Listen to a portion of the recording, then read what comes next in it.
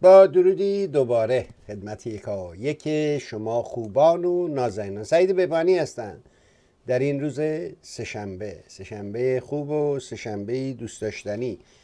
سهشنبه ای که بها برای ما یک لطافت دیگری دارد. برنامه رو شروع می‌کنیم با سخنان پر از مهر آقای دکتر انصاری و بعد هم مطالب پزشکی او رو میشنویم. بعدم از تنز پیرگدا میگذریم و امیدوارم این برنامه های همنشین رو هم دنبال بکنید. و بعد هم در این ساعت میریم پیش آقای حشمت رئیسی نازنین. اجازه در همین مقدمه یه سلامی بکنیم. خوش آمد بگیم با آقای رئیسی عرض ادب و احترام داشته باشیم. آقای رئیسی من به شما درود میفرستم صمیمانه از حضور تشکر می‌کنم. درود بر شما آقای بیبانی عزیز. امیدوارم که علا رقمی که همه از شما طلب کارن بتونی طلبکاری همه رو بدی. آره، و کارت ادامه بدی در صورت سپاسگزارم ازتون و در صورت درود ویژه برای بینندگان و شنوندگان گرانقدرتون دارم. محبت سپاس گذارم ارزم به حضور شما که خیلی مطلب هست و واقعا نمی‌دونم از کجا بایستی شروع بکنی. یکی دو تا از دوستان برای من می نویسن همونطور که آقای رئیسی گفت. خیلی من متاسفم از این بابت و یه نکته رو فراموش می‌کنین. اینه که خب اگر تو بهتر می‌زنی بستان بزن. کاری نداره. این آسونه که همینجوری حرف زدن و توقع و توقع کاری رو پیش نمی‌کنه نمی‌بره. فقط سنگ میندازید شما. اما گفتم ما مردم دچار یه جور انحطاط شدیم و این هم از اونجایی که باور دارم که اخلاق یه discourse ه. و همیشه discourse رو قدرت تعیین می‌کنه و اخلاق یک چیزی است که از بالا مثل رنگی است که به روی دیوار میریزی از بالا شره می‌کنه میاد پایین. وقتی یه جامعه صاحب یه حکومتی باشد که بی اخلاق فاسده طبیعتا تاثیر می‌ذاره مردم رو هم به اون سم می‌کشه. ولی باید ایستاد مقاومت کرد. دیشب در خدمت آقای میرافتاوی بودم می‌گفت آقا می‌دونی که یه رادیوی کوچیک در اون مملکت ونزوئلا چه کرد؟ یادت میاد؟ گفتم بله. گفت می‌توانیم که از همین صدا استفاده کنیم و تحول رو در جامعه ایجاد کنیم جامعه رو دگرگون کنیم. گفتم اگر که بخواهیم. این خواستن شرط اول داستانه. توانستن موضوع دومه. اول بعد می‌خوایم بریم چه می‌دونم لب دریا. بعد اون وقت میایم امکانات و توانمون رو بررسی می‌کنیم. چگونه؟ ولی من سخت واقعا متاسفم می‌بینم از این رفتار آدمایی که خودشون رو چراغکش معرفی می‌کنن و جلودار می‌دونه خودشو. می‌خواد جامعه رو به یه سمت و سو ببره. و الان هم این وضعیت همین اینترنت و اینکه این امکان پدید آمده است که رسانه های اینجوری فامیلی پیدا بشن هر کسی هم برای خودش یه میکروفونی رو درست بکنه و یه دونه دوربینی بذاره و بعدم فکر کنه که داره یه کار رسانه می‌کنه. اگر من این کار کردم من 17 سال دارم این کار رو انجام میدم. بالاخره هر کاری رو اگر درش بیستی مقاومت کنی و علاقه داشته باشی حتما یاد می‌گیری و حتما موفق میشی. من ادعای موفقیت نمی کنم اما ادعا دارم که این کار رو بلدم می‌توانم و نشون دادیم که می‌تونیم این کار رو انجام بدیم. ولی متاسفانه سمپاشی خیلی زیاده. و فکری که گفت آقای ارفانی هم برای اون تعریف کرد که ساده اندیشه سادگی رو دوست داره. گفتم ما به خاطر شاید وضعیت جغرافیایی بوده نمی‌دونم. ما یاد نگرفتیم فکر کنیم. اگر کره جنوبی موفق شده و ما کارخونه های ماشین سازی اونو میبندیم شاید یکی دلایلش اینه که اونا مردمانی هستن که در باطلاق و سنگلاق زندگی کردن و برای اینکه بتوانن موفق بشن فکر کردن. فکر کردن چارپایه بسازیم. بریم رو چارپایه بشینیم. الان خیس نشیم ولی ما به خاطر شرایط جغرافیا خوش آب و هوایی زودی دم قهوه خونه یه لمه دادیم و چپق و چاخ کردیم و نشستیم منتظریم که باران ببارد و دیمی عمل کنیم. این روحیه رو امروز هم می‌بینی. دیم منتظر یه آمریکایی بیاد حمله بکنه. بزنه. ترامپی بیاد کارش را بندازه. و بر این تبل مرتب میکوبن. و بعد می‌بینی که یارو میاد توی تلویزیونی یا یه جایی قلابی میشینه و یه آدم معلومی که هیچی نداره. هیچ پشوانه ای نداره. و با فخرآور حرف می‌زنه و اون میگه من سه میلیون این کتاب در ایران فروختم. سه میلیون کتاب در ایران فروخته. من واقعا آشورزاده یه کتابی رو فرستاده بود برای آقای میرافتوی گفت آقا 20 تا دونه ازش چاپ کردم برای رفقام یکشو برای تو میفرستم. 20 تا دونه. و خب میگه من سه میلیون کتاب در ایران فروختم. گفتم این کتاب هیچی نداره الا اینکه تطهیر بکنه. بگه آقا همه این بلایایی که به سر ما اومده کار روسا بوده. از اون طرف داستان و آمریکایی‌ها هیچ نقشی تو این ماجراهای ایران نداشتن بلکه همه رو روسا کردن. از اون طرف داستان یه بخشی که خودشو چپ معرفی می‌کنه مثل متی فتاپور کتاب خاطرات می نویسه مملو از دروغ. رفتم از رودخونه رد شدم. عمق رودخونه 20 متر بود و نمی‌دونم پریدم از این ورم بذار بریم پیش آقای رئیسی. بذار ببینیم آقای رئیسی این داستان رو چجوری تعریف می‌کنه. بالاخره او مرد تجربه است. خودش همین مسیرها رو رفته. یا یه آدمی مثل عمویی الان میاد و میگه که نمی‌دونم تو زیر زمین خونه خمینی رفتیم با زن خمینی اینطوری کردیم. و اینو وزارت اطلاعات پخش می‌کنه.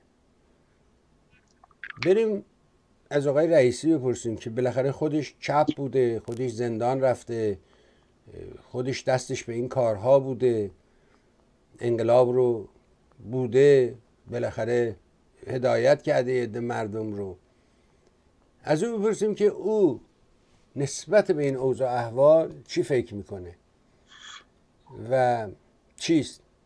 در بین الملل هم که می‌بینیم میگه نمی‌دونم موشک زدیم و موشک رفته خورده به ریاض من ترکشش خورده به سر یه هنرمند سعودی. سعودی ها میگن که ما این رو رو هوا موشک رو زدیم علت انفجار و دود اینه که ما موشک رو رو هوا منفجر کردیم. آیا با توجه به این شرایطی که وجود داره شما نگاه کنید داخل ایران می‌خوایم بریم پیش آقای رئیسی نمیشه. ولی بذار بگم اینو. تو این شرایطی که وجود داره یعنی احمدی نژاد اومده وایساده به اون میگه قاسبی به رئیس قوه قضایی جانی نمی‌دونم دوزی فلانی. من حیرتم که چجوری این نظام فقط مونده. آیا این گفتن اون سلیمان نبی که همین داستان اورشلیم و اینا راجبش تعریف می‌کنن میگن که مرده بود و به اساش تکیه زده و یه مورچه یه دونه مورچه اومد رفت موری اومد رفت و این اصا رو شروع کرد خوردن تا اصا شکست و این حیبت افتاد. آیا این نظام جمهوری اسلامی همون نقش رو داره بازی می‌کنه؟ آیا باید یه موری پیدا بشه و این اثار رو بخوره؟ چیه داستان؟ آقای رئیسی چی می‌بینی اوضاع احواله خوشحال میشم نظرت رو بشنوم. بفرمایید سراپا گوش. بله آقای بیبانی والا چی میگن؟ وقتی که آب سر بالا میره یا ضرب المثل فارسی است دیگه. در واقع ابو عطا می‌خونه. ابو عطا می‌خونه. من فکر کنم کار از این حرفا گذشت. در همین مقدمه در همین آغاز یه اعتراضی به دوست گرامیمون آقای ایرج مصداقی کنم که یه اصطلاحی رو انداخت به نام بچه پر رو. من فکر کنم این خوبه ولی ضعیفه خیلی ضعیفه. بیشتر باید گفت بچه وقی شاید این بار معناییش با این واقعیت که من می‌بینم انتباق بیشتری داشته باشه. خوب از پرسش اول شروع کنیم. که این آقا ادعا کرده کتابش بیش از سه میلیون فروش رفته. الان دو سال گذشته الاخر چون خود من شاید جز موارد کاملا استثنایی باشم نه به خاطر میگم خودم استثنام شرایطی برای من وجود اومده بود. موقعیت شغلی من در زمان شاه در رژیم گذشته که به اصطلاح به واحد چاپخانه خودمون منتقل کردم.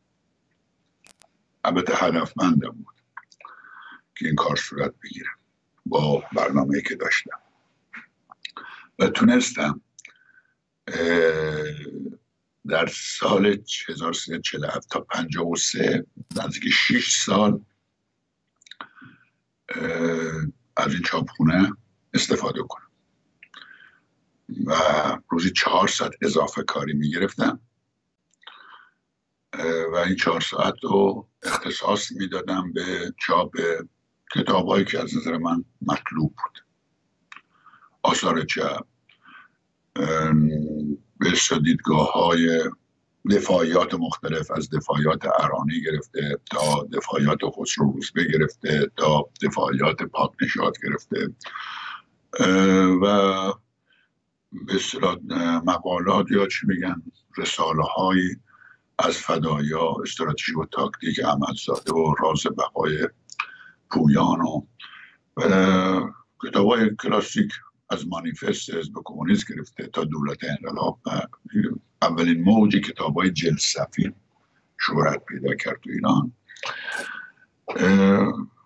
رومن سازمان دادم تقریبا یه تنه هم بودم و نمی‌خواستم حتی نزدیکترین دوستام هم اطلاع داشته باشن.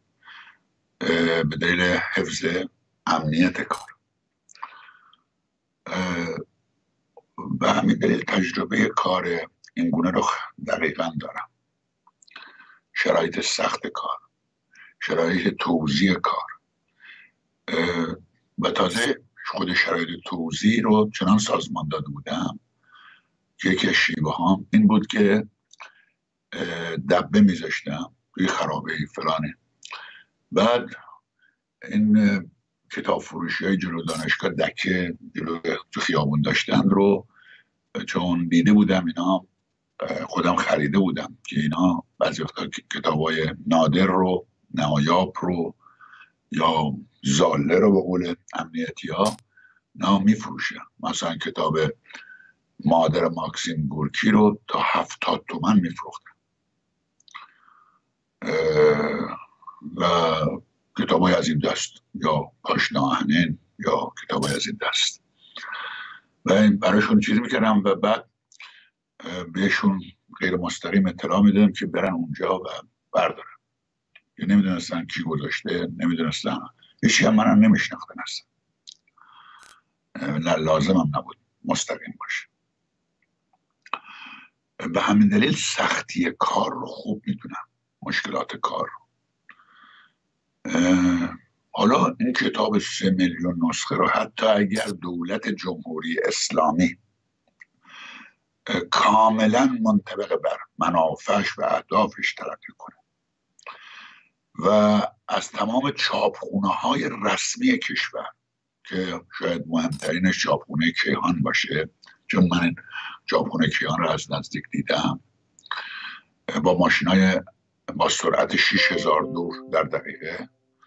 و به کاغذ روله عظیم برکت در میان و الاخر حتی اونا هم بخوان کار بکنن سه میلیون نسخه کتاب 700 صفحه ای رو چاپ بکنن بیش از یک سال طول می‌کشه شیش ماه طول می‌کشه. اگر تازه من فکر کنم باز بیشتر. اگر تمام امکانات مخالفین. یعنی از اون دهاتی رو که در ده زندگی می‌کنه تا شهری رو. همه یک کاسه کنیم پشت بسیج کنیم که این کتاب رو پولش بدن چاپ بکنن بفروشن پخش کنن فلان. یه شبکه یه شبکه حداقل 500 هزار آدمی رو می‌خواد. اینا رو چون با اطلاع حرف می‌زنم برمان مثال وقتی که سازمان فدایان بعد از انقلاب که پر کمیت ترین سازمان سیاسی چپ ایران بود که در با معیارهای بسیار سختی هم عضوگیری می‌کرد. تازه وقتی آمدن طرف حزب توده و معیاراشون که باز کردن و او سختگیری رو کاهش دادن ده هزار عضو داشت. ده هزار هم پیشگامش بود. و بقیه رو تحت عنوان هوادار به اصطلاح چیز می‌کرد. تیراژ کتابش یا تیراژ نشریش در بهترین حالت که میدون آزادی هم اگر میتینگ میذاشتن که بنده هم مثل جز سخنرانهاش بودن 500 هزار آدم هم میامد خود تیراژ کار به صد هزار تا نمی‌رسید. یعنی با این پشتوانه تازه یعنی شاید بخششون یک, یک کار می‌گرفتن به همدیگه می‌دادن شاید. یه همچون ادعای سخیفی از طرف یک همچون مجنونی که کتابش تو شرایط مخفی زیراکس. شما مجسم کنید در صورت یک چون زیراکس با کاغذ آچار چیز بکنم. بسته بندی هاست. اینجا رو نگاه بکنید حجمی که ایجاد میشه صدها کامیون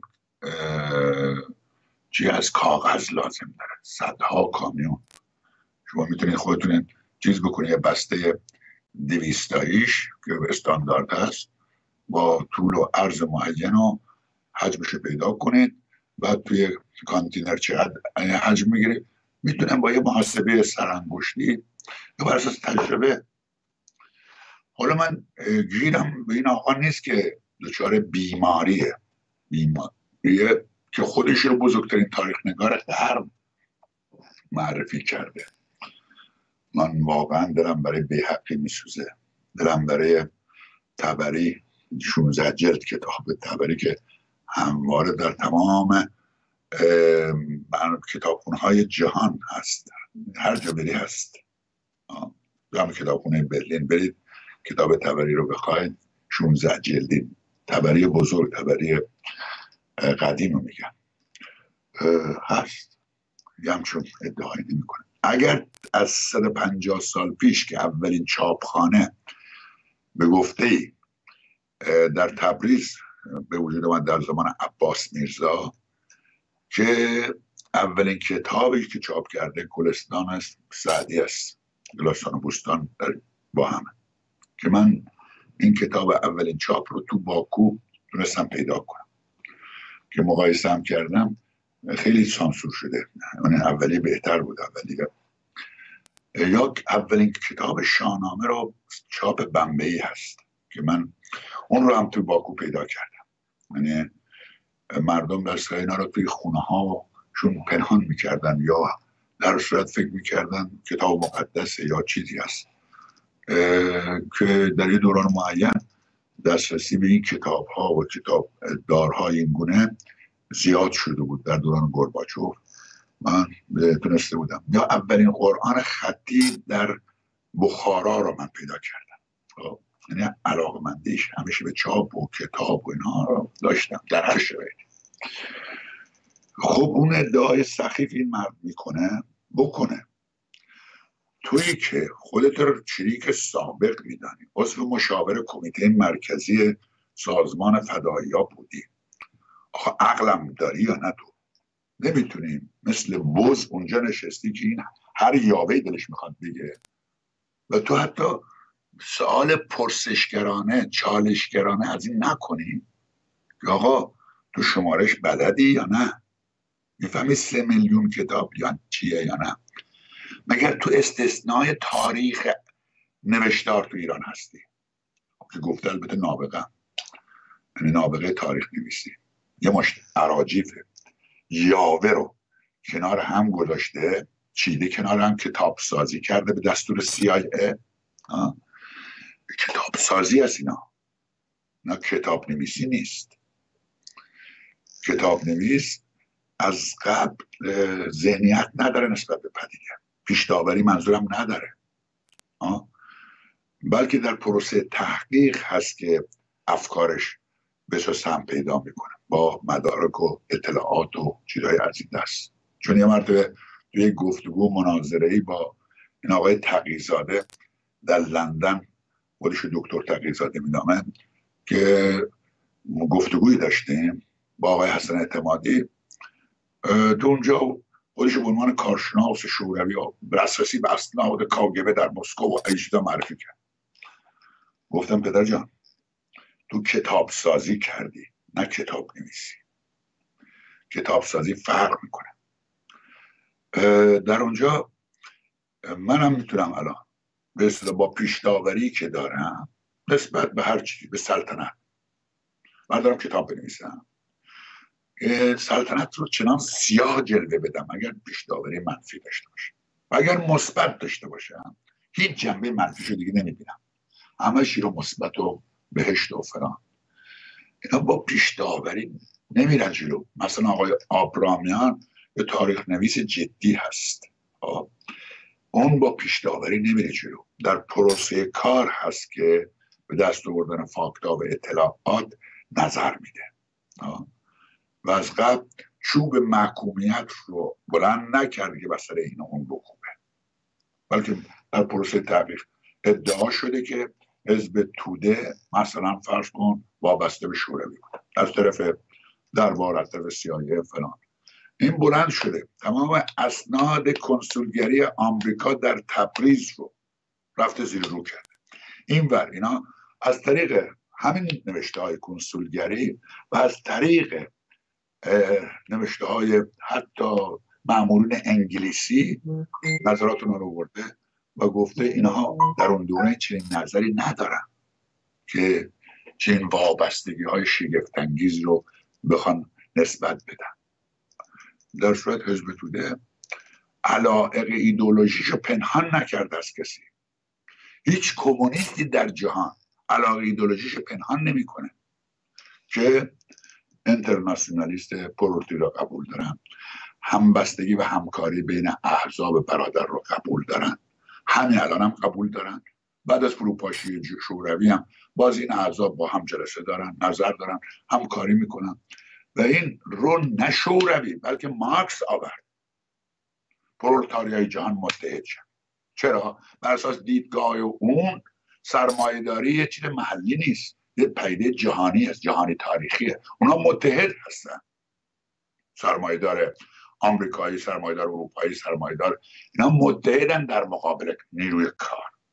گرچه در بین خودشون هم رقابت هست رقابت های خصومت آمیز هم هست. ولی همونطور که کمان پاریس از نظر مارکس نشون داد وقتی که احساس کنن کمانارها یعنی نیروهای رادیکالی که بقای دولت فرانسه رو. با موجودیت او رو به خطر انداختن در خطر از طرف کمونارها تمام اتحادیه یعنی تمام اروپا ارتش هاشون بسیج شدن و خفه شدن همونطور که در مورد شوروی هم کار کردن. چهارده کشور بهش حمله کرد. که وقتی که بلشویکا در پتروگراد مثل قدرت به دست گرفتن. چهارده کشور آمریکا انگلیس ژاپن نمیفهم لهستان چکسلواکی فرانسه همه نیرو پیاده کردن. خب یعنی این پدیده رو خواستن خفه کنن نتونستم. حالا کاری ندارم. وارد این بحث نمیشم. پس بنابراین این که مثل سلطان محمود غزنوی بگردی هنگوش تو هر سولاخی بکنی دنبال قرمتی بگردی هر کس بابا این دیوانه زنجیری دیگه به اصطلاح فقط به توده. یا نمیگه که جاسوسم.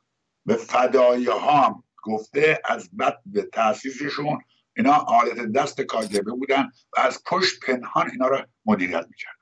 و این آقای فدای سابق ابله واکنش نشون نمیده. که آقا فدایی همچه پدیده نبودن. اصلا وابستگی ایدولوژیک هم نداشتن.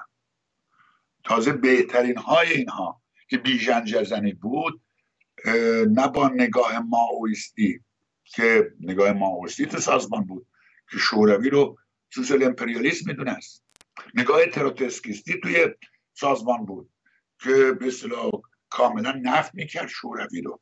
تازه معتدل ترین نگاه در سازمان فدایی از آن بیژن جزنی بود که اون رو به اصطلاح یک نوع رویزیونیست می‌دانست. ولی در صورت در مخالفت با اون به طور قاطع جبهگیری نمی‌کرد.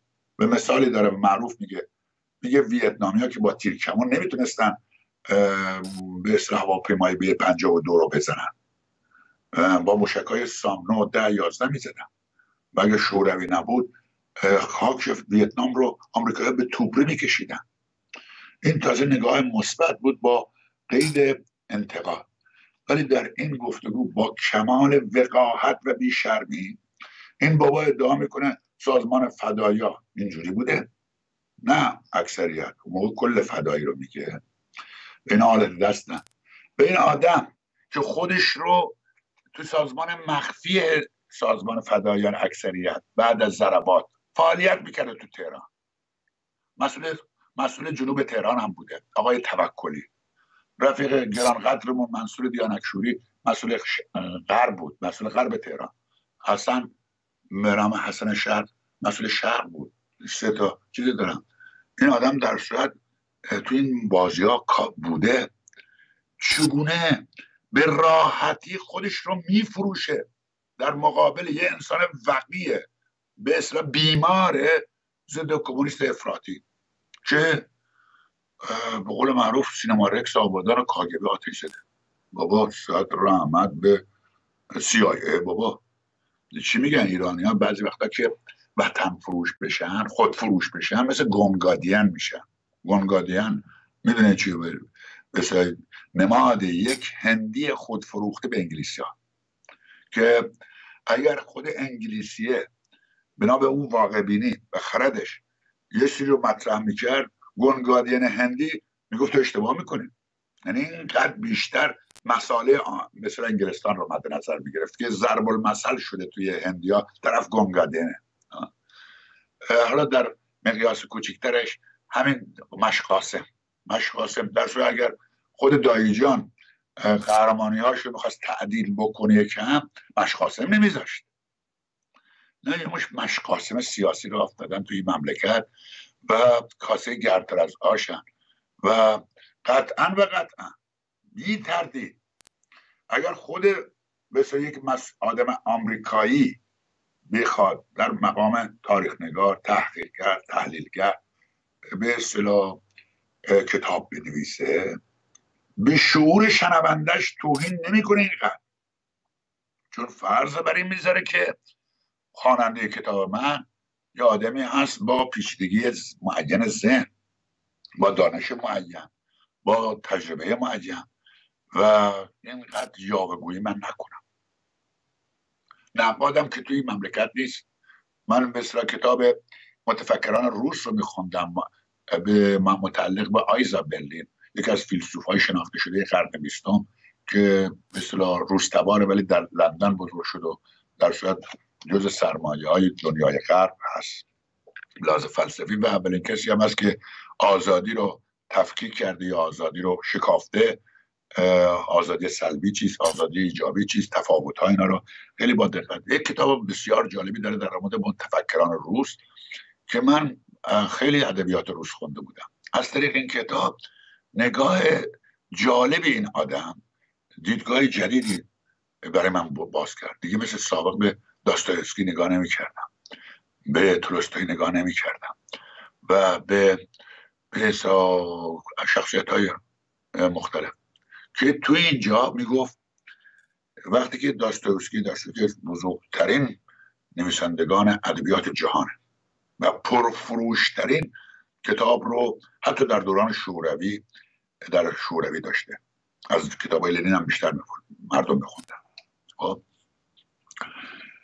اونجا میگو وقتی که یادم می‌خواست بنویسه هر کلمه به اصطلاح بالا سرش انگاری بلنسکی بالا سرشه. این بزرگترین نقاد اونجا می‌دونست که یخه می‌گیره. حرف مف نمی‌تونه بزنه. حرف بی رب نمی‌تونه بزنه. یاوهگویی نمی‌تونه بکنه. ولی متاسفانه تو مملکت ما مغز مردم رو به مفتی رو بردن. گوش مردم رو مفتی رو بردن.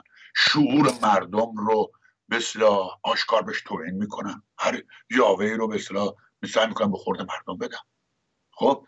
حالا این آدم هم در موضعی که اگر تو اینو دعوت کردی گفتگو کنی باش بسیار خوب. مثل یک به اصطلاح گفت پرسشگر باش رفتار کن. نه مثل یک خائف زلیل بزمجه اونجا برداری که هر چی دلش بخواد بگه به تو سکوت کنی.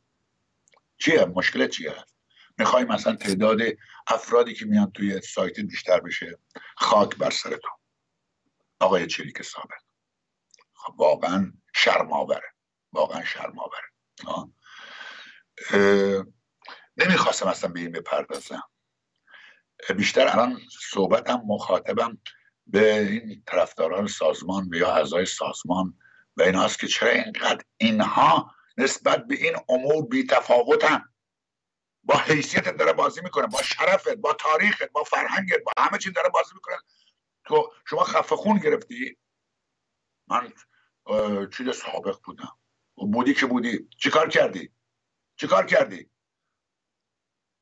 تمام تشکیلات خراسان کی لو داد شما چه مسئولیتی داشتیم تو این بازی یه پاسخگو باش فقط این تیکه رو که عضو سابق مشاور کمیته مرکزی بودی با خودت یک یدک می‌کشی کارهایم که کردی بگو کی قرار جاسم لو داد کی جاسم برادر رفیقمون خاکسار دیگه که در صورت از شریکای قدیمی است که در فلسطین هم رفته دوره دیده همینا کی قرارش لو داد؟ چرا؟ چرا تو سالم موندی؟ جاسم دستگیری شد. چرا من جاسم بدبخت در شرایط دستگیری تونست به اصطلاح خبر برسونه به منصور دیانکشوری؟ که بازم یکی از رفیقای بسیار خوب و نزدیک من بوده در زندان و بعد از اون. و اون را خبر رسون که رو قرار نیاد. و با وجود این که خیلی مسائل اتفاق افتاد تو زنده میمونی میگردی جاسم ها و دیانک ها و ده ها شخصیت دیگه که به اصطلاح مظهر از خودگذشتگی پاکی شجاعت مسئولیت پذیری بودن. حالا کار ندارم. با خط مشش آدم می‌تونه برخورد کنه. و بعد میای اینجا یک کمونیستیز کور تبدیل میشید. میگی من لیبرالم. تو لیبرالی؟ آقای پوپرم لیبرال لیبرال پدر لیبرالیسمه. من کتاباشو خوندم. اونجا با حرمت تمام نقاد مارکسه. نقاد چپه. ولی حرمت همه چی رو حفظ می‌کنه. آدم رو به فکر میندازه به تفکر میندازه. نه یه ما شیاوگو راه افتادن حالا برای اینکه خوش رخصی کنن برای کانونهای قدرت مرتجع داخلی و بین المللی دست به بسیاری از تحریف حقایق و وقایع می‌زنن بسیار. این کارا رو می‌کنن ادعاهای گسترده و گسترده تو این بازی. من از نظر من ارزش این چیز رو نداشت. واقعا ارزش پرداختن به این مسئله رو ندارم. نداره. چون ادعاها اینقدر سخیفه هست که آنسرش نپیدا خب وقتی که به آمار سازمان ملل مراجعه می‌کنیم میگیم حجم کتابخونی در ایران به قول من رو دو ثانی است. وقتی به تیراژ کتاب ها نگاه می‌کنیم و همه اینها اینا همه آمارهای واقعیه. این آمار رو ناشرین میدن این آمار رو خود نویسندگان معتبر داخلی میدن. همه اینها که حجم کتابخونی در ایرانیا بسیار بسیار پایینه. متاسفانه. یکی از علل نافرهیختگی جامعه. عدم رویه پرسشگری در جامعه ناشی از همین حجم پایین مطالعه است. و تمام فیلسوفا و اندیشمندا از عصر باستان تا کنون روی مسئله دیالوگ کتبی نوشتاری مکس کردن اهمیت ضرورت و فرهانش توضیح دادن و ملت ها از طریق کتابخونی پیشرفت کردن. عنوان مثال کتاب های ولتر قبل از انقلاب فرانسه با وجودی که زیر فشار شدید سانسور کلیسا و دولت بود از پیش فروخته می‌شد. بورژوازی طبقه بورژوای بالنده اون دوره پشت ولتر بود. چون اشرافیت فودال کلیسا و اینها رو می‌زدن و می‌خواستن رشد بکنن. هر جا می‌خواستن رشد کنن اینا مانع بودن. و همین نیروی اجتماعی پشت ولتر بود. ولتر یه تنه نجنگید. پشت ژان ژاک روسو نیروی اجتماعی بالنده تاریخی و اون دوره یعنی بورژوازی رو به تکامل بود. یا در همه جا. خب آخه به وقتی که این رو می‌بینیم. به اصلاح تیراژ کتاب ها تو ترکیه تو همه جا آماری هست. استثنای تاریخ تو هستی. آخه یا بگو چی کار هستی تو؟ یه بچه مزلف به اصطلاح دریده و وقی و پررو آخه آقای مارکسیست آقای فدای سابق خب وقتی که طرف میگه خون رضا تو رگای منه آخه تو نجات پرستی؟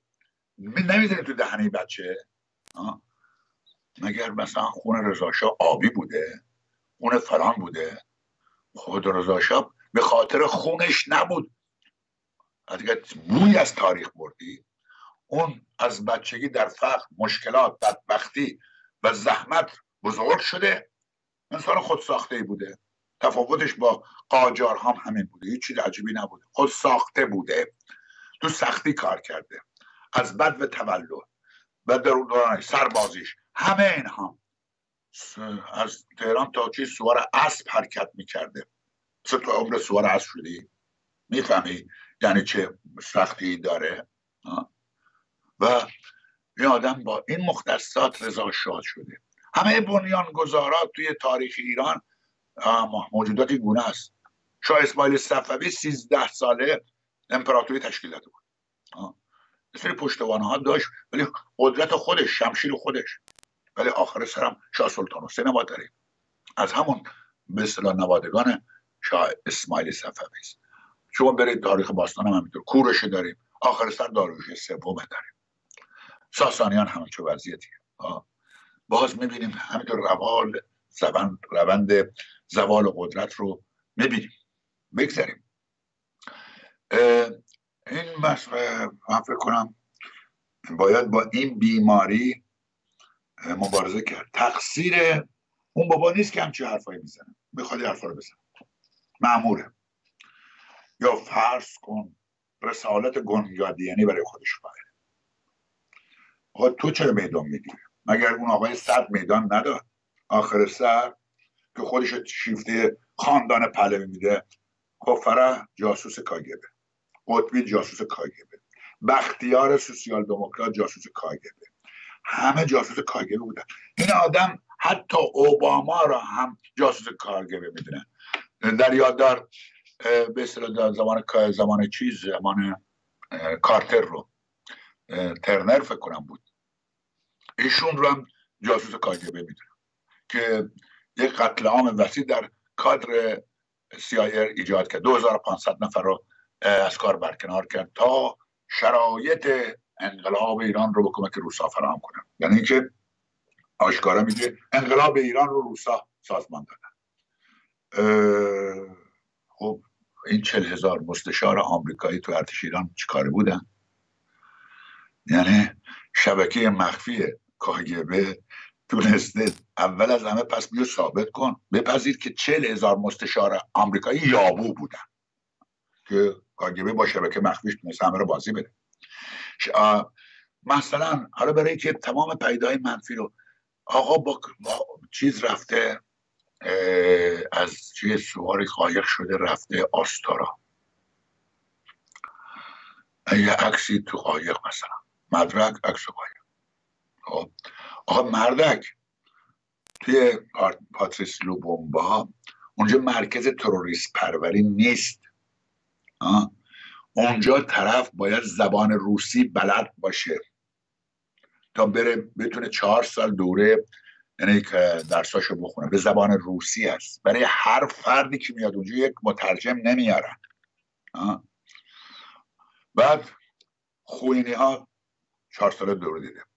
ریشری دوره دیده. خامنه دوره دیده. خب ریشری بزرگترین لطمه رو شوروی ها ریشری جاسوس درست کرده که تمام رهبران حزب توده رو قتل عام کنن. دیگه شوروی هر چقدر پلید دیگه رهبران خودشو یا کسانی که حداقل علاقه و سمپاتی به اونها دارن رو قتل عام دیگه نمی‌تونه بکنه که. اینو یاوار از کجا میری تو؟ آقا فکر نقادم خوب چیزیه. فکر جستجوگر تحلیلگر تناقض پیدا کردن این صحبت رو باید آدم شعوری داشته باشه. و این آدم با کمار گستاخی چیز می‌کنه ردیف می‌کنه. خب تو اونجا دوره چیز داره. خب آقای کیانوش شما که رفتید شوروی قدم زده کمونیست شدی شوروی چیکار برای شما کرد؟ شما اگر می‌خواستید از مرزهای غربی فرار کنید به غرب پولش داشتید؟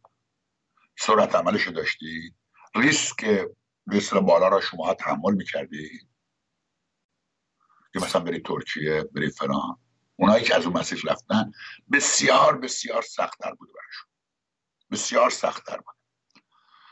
و ریسک های بزرگ کردن. و تو از این برای آب پریدی اون برای آب.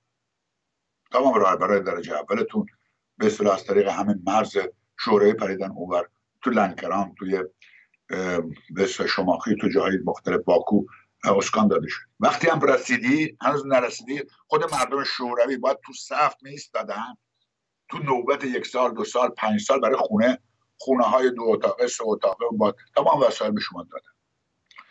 خب به شما هم امکانات دادن که درس بخونید امکانات حزبی دادن که پارتشکول برید. تمام وقتی زیادی از رهبراتون اونجا پارتشکول رفتن. اسمم نمی‌برم.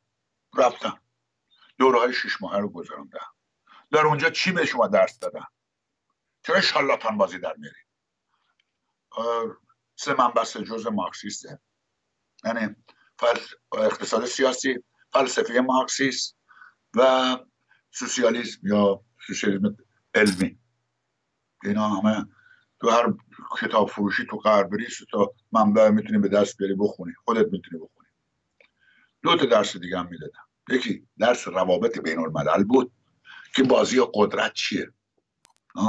این جنگ سر چیه؟ مشخصاتش چیه؟ و تمام اینا رو می‌گفتم. خب؟ یکی هم مبارزه با خرابکاری.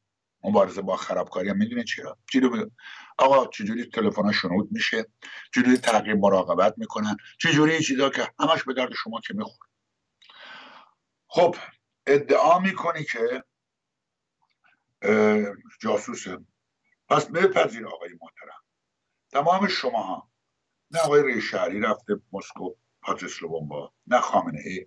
ولی شما که این دوره ها رو گذارمدید پس اتهام به شما بیشتر تا به اونا.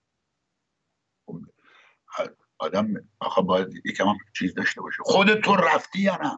خودت تو دوره شیش ماه رو دو گذارمدی یا نه؟ آقای توکلی گذارمدی بهمن گذارمدی یا نه؟ مسئول آذربایجان. ده ها نفر. دیگه کادراتون رفتن اونجا. دوره دیدن.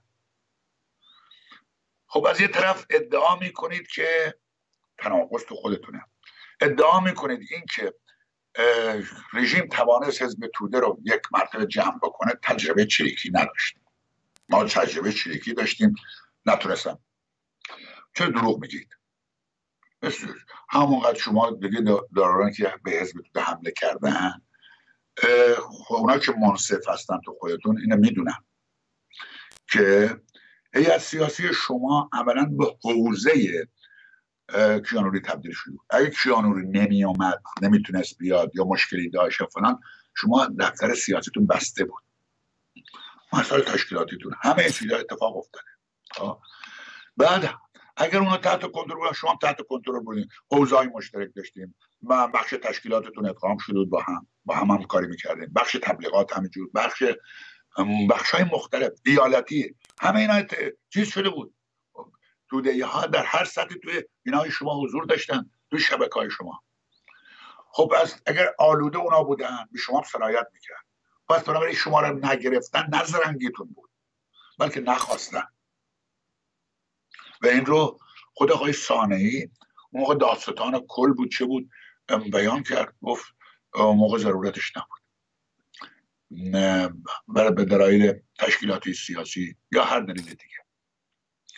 شما بعد از اینکه خب حزب نظر بخورد شما رفتیم فعالیت مخفی. تا سال 65 هم فعالیت مخفی می‌کردیم تو این فاصله که تو شوروی بودی تجربه اعذاب برادر رو همه به دست آوردیم یعنی از اعذاب آمریکای لاتین می اومدن تجارب خودشون رو در اختیار شما میذاشتن. شما تجاربتون رو در اختیار اونها میذاشتین. همه اینها پس تجارب فعالیت مخفی با رژیم های دیکتاتوری را از تمام جهان به شما منتقل شد. دیگه تجربه تنها چیرکی نبود. تمام اتفاقات افتاد. سال 65 به شکل فضاحت بار همتون انداخته تو چیز. چرا؟ چرا اتفاق افتاد؟ هم تجربه چریکی داشتی هم تجربه از سال 60 تا 65 هم کار مخفی در شرایط ایران داشتی هم تجارب بین المللی رو داشتی. چرا؟ چرا اتفاق افتاد؟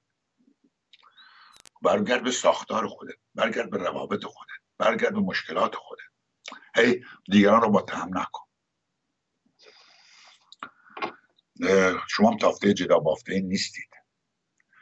یا مثلا فرض کن برای من شگفت انگیزه تو این فدایی ها شگفت انگیز بعضی وقتا. خب چندین هزار نفر از مرز افغانستان عبور کردن و از مرز شوروی مرزات از طریق ترکمنستان از طریق آستارا رود عرس از طریق آذربایجان تا بینهایت امکان رساندن خود به شوروی وجود داشت. اگر سابق نمی‌رفتن برای اینکه شوروی مقید نمی‌دونست خودش تحویل دولت می‌داد. چه دولت شاهنشاهی چه دولت جمهوری اسلامی.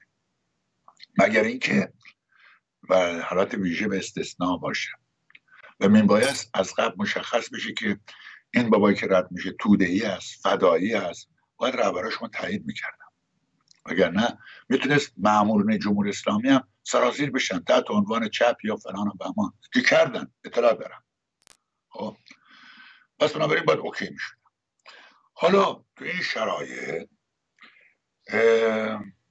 من فکر می‌کنم همه این انسان ها تو این شرایط همه بدبختی دیدن. همه آسیب دیدن. به عنوان مثال یکی از کادرهای برجسته سازمان که زنش همسرش به اصطلاح همسر یکی از رفقای شهید سازمان بود. با بچه پسر اون تو بغل توی چیزشون. بچه شیرخارشون تو بغلشون. از مرز گذاشتن برف سنگین گرگ ها بسیار زوزه میکشیدن این زن جسه اندام بسیار ضعیفی هم داره. به شوهرش میگه اگر گرگ آمدن من میرم جلو تو بچه ها رو به یه درختی به یه جای برسون. من بذار خورده بشم. یعنی تا از این دست. تو همون گردنه حیران. اون طرف. دو تا از دوستای فدایی که خودشون فرار کرده بودن باکو و قرار بود همسراشون بیاد تو همون گردنه به برف گیر کردن. آنجا گرگ ها خوردن آنها را. بچه کوچک دو تا زن رو و تا, بهار که شد برفا رفت از روی های اینها. فهمیدن که به اصطلاح چیز است از روی گردن بنداشون و فلان اینا. بعد افراد سازمان رو بردن مرز و تایید کردن شوهرشو دو تا خواهر بودن. به اصطلاح که ازدواج کرده بودن با دو نفر از این دوستان. که بیان اینها در داوره. در داوره زجر آوره. من اطلاع دقیق دارم. تو همین رودخانه عرست زن با بچه تو بغلش از رودخانه رد شده. رودخانه عرست هم من رد شدم. اونجا هم بسیار شیب داره آب تنده یک چیز بشه واقعا تا حفظ تعادل سخته. همونطور که آقای سمد برنگی در هر صورت هم رودخانه غرق شده. بگذاریم. حالا تو این جیر داغ ما یه آدم بازم عجیب ویژگی فخرآور با این کنش توکلی با این آقای فتاپور عجب شباهت با هم قلوف بیمارگونه در مورد کارهایی که کردن. بیمارگونه. خب برید بخونید تو سایت هست. عبور از مرز. بسیار خوب. حالا مگه تو اولین و آخرین میری از مرز عبور می‌کنی؟ از کجا؟ از رودخانه هیرمن. حالا اولندش که من تمام کسانی که تو شرایط بودم با هواپیما از تهران بلند شدن رفتند به زابل به زاهدان. از نظر من مشکوکن. کاملا مشکوکن. چه علی خدایی باشه چه ایشون باشه. چون اطلاع داریم ما. اون موقع چنان ترس و حرازی تو وجود ماها بود ترس حراز شکنجه به جای خودش. ترس حراس این که نتوانیم مقاومت بکنیم. با توجه به که هر کسی بردن زندان مقاومت نکرد و بیایم تو تلویزیون حیثیت اون بره. این ترس وحشتناک عمومیت داشت. و به همین دلیلم از ماجراجویی و ریسک و اینها نمی مثل پرهیز می‌کردیم بقا و حفظ خود به به اصلا پاکسازی خود که ضربه به من منتقل به دیگری منتقل نشده. با تمام چیز. بگذاریم. رفتی کنار رودخونه. دو تا قاچاقچی هم بردنت اونجا. آقا یه مرتبه گفتن قایق آن طرف رودخانه قرار بود یه نفر قایق بیار اینجا. من هرچی یادم میاد قایق نبوده. تو بازی اونجا. ولی بگذاریم فرض کن حرف دو درست. قایق اون ور بوده. بعد خب ایشون دیده که دوباره باید یه شب بمانه. دیده نه لازم نیست. لباساشو در آورده و آب بزده به خودش. حالا چه فصلی است آب, آب چقدر سرد وحشتناک. آدم به تنس باید داره چون من بچه خوزستانم. می‌دونم در خوزستان در گلف یا خلیج خلیج فارس و اون مناطق گرمسیر جنوب ما فقط یه ماه زمستون داریم. اونم نه زمستونه. یعنی از فروردین ما گرمای شدید داریم. یعنی به همین دلیلم علفزارها گلزارهای خوزستان پونزه روزه خوش میشن.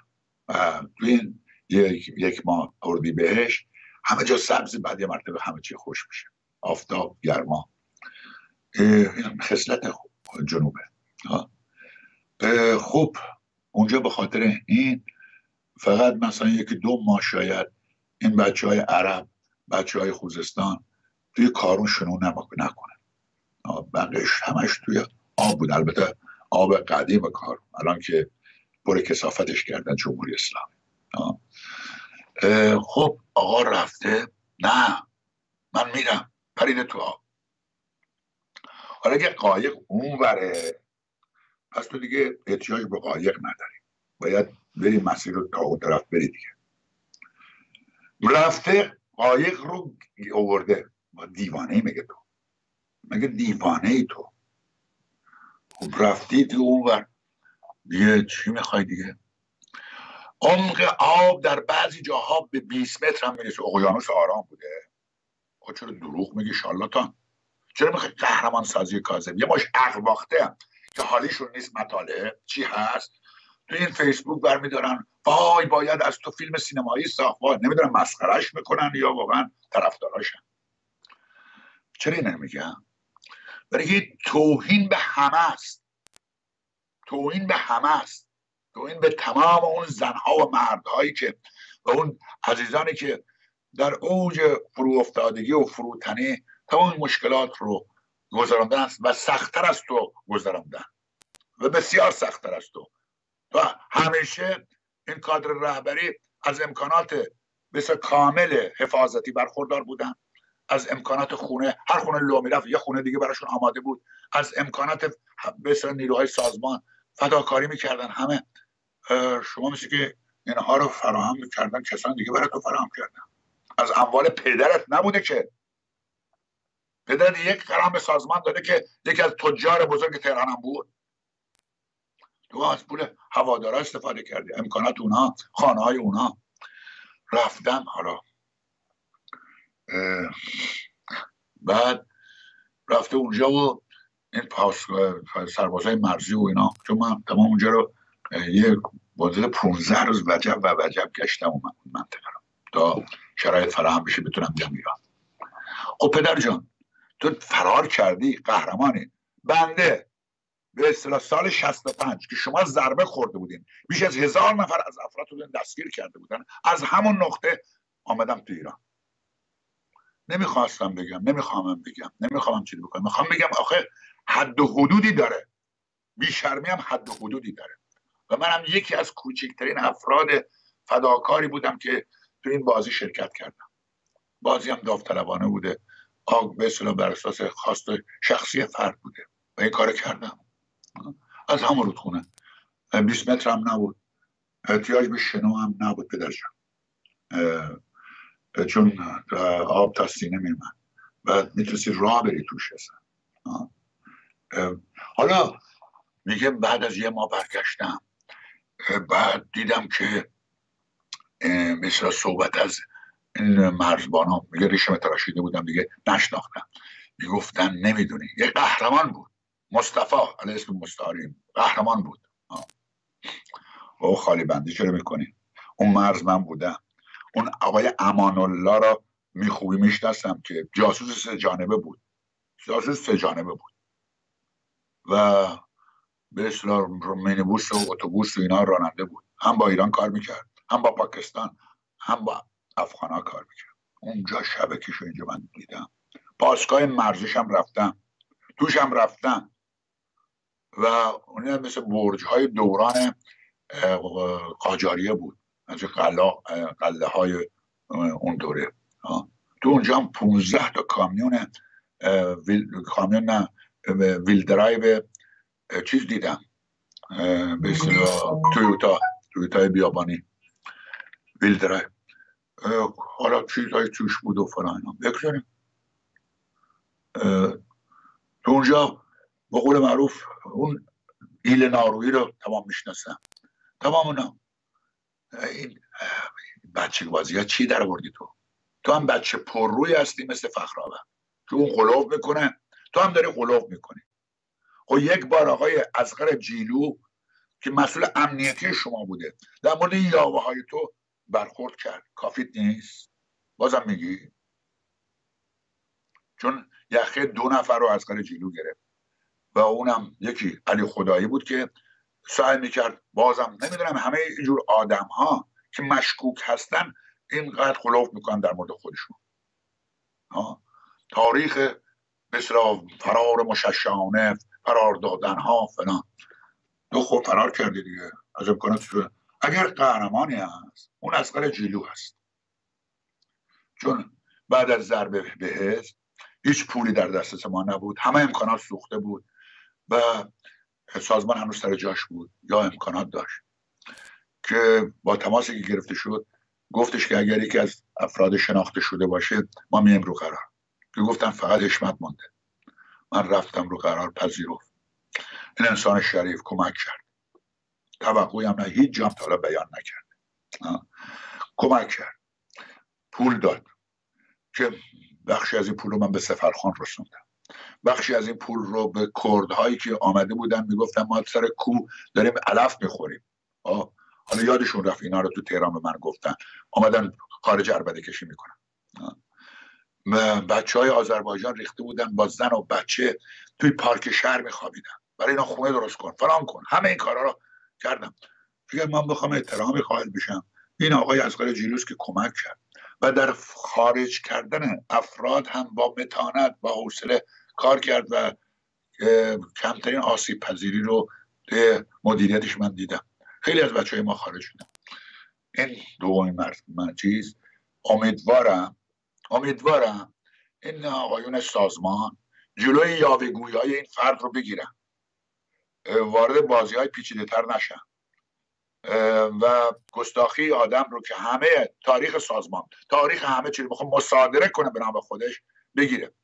چه هایی که با سازمان بودن چه هایی که جدا شدن همه در ساختن این سازمان نقش داشتن و هزار بار بیشتر از تو و امثال تو فداکاری کردن. همون بچههایی که توی تهران ماندن تا سال 65 شما رو تحویل جمهوری اسلامی دادین و کشتن رفتن. هزار بار از تو و امثال تو شجاعترن. و حرمت اونا رو حفظ کن. اینقدر گستاخی نکن. که یه عبور از یه رودخانه. آها. البته اینجا باید گفت این رودخانه که من رد شدم با اون رودخانه که اون رد شده فرق می‌کنه. می‌دونید چرا؟ چون بنا به اطلاعاتی که بعدش به دست آمد این بود که مجاهدین افغان این قورباغه های اونجا را تمام انتحاری کرده بودن. منتظر این رفیق بودن که از مرز چیز بکنن قورباغه های انتحاری خودشون منفجر کنن رفیق رو بکشن. یا اطلاع پیدا کردن که امپریالیسم سیونیست رفته 250 تا تمسای رود نیل رو اووردن تو رودخونه که اگه این رفیق رد شد چیکار بکنن؟ بخورنش. اینجوری پدر جان بچه عرب عوازی از روی پل اعواز ده سال یازده سال شیجه میره تو آب.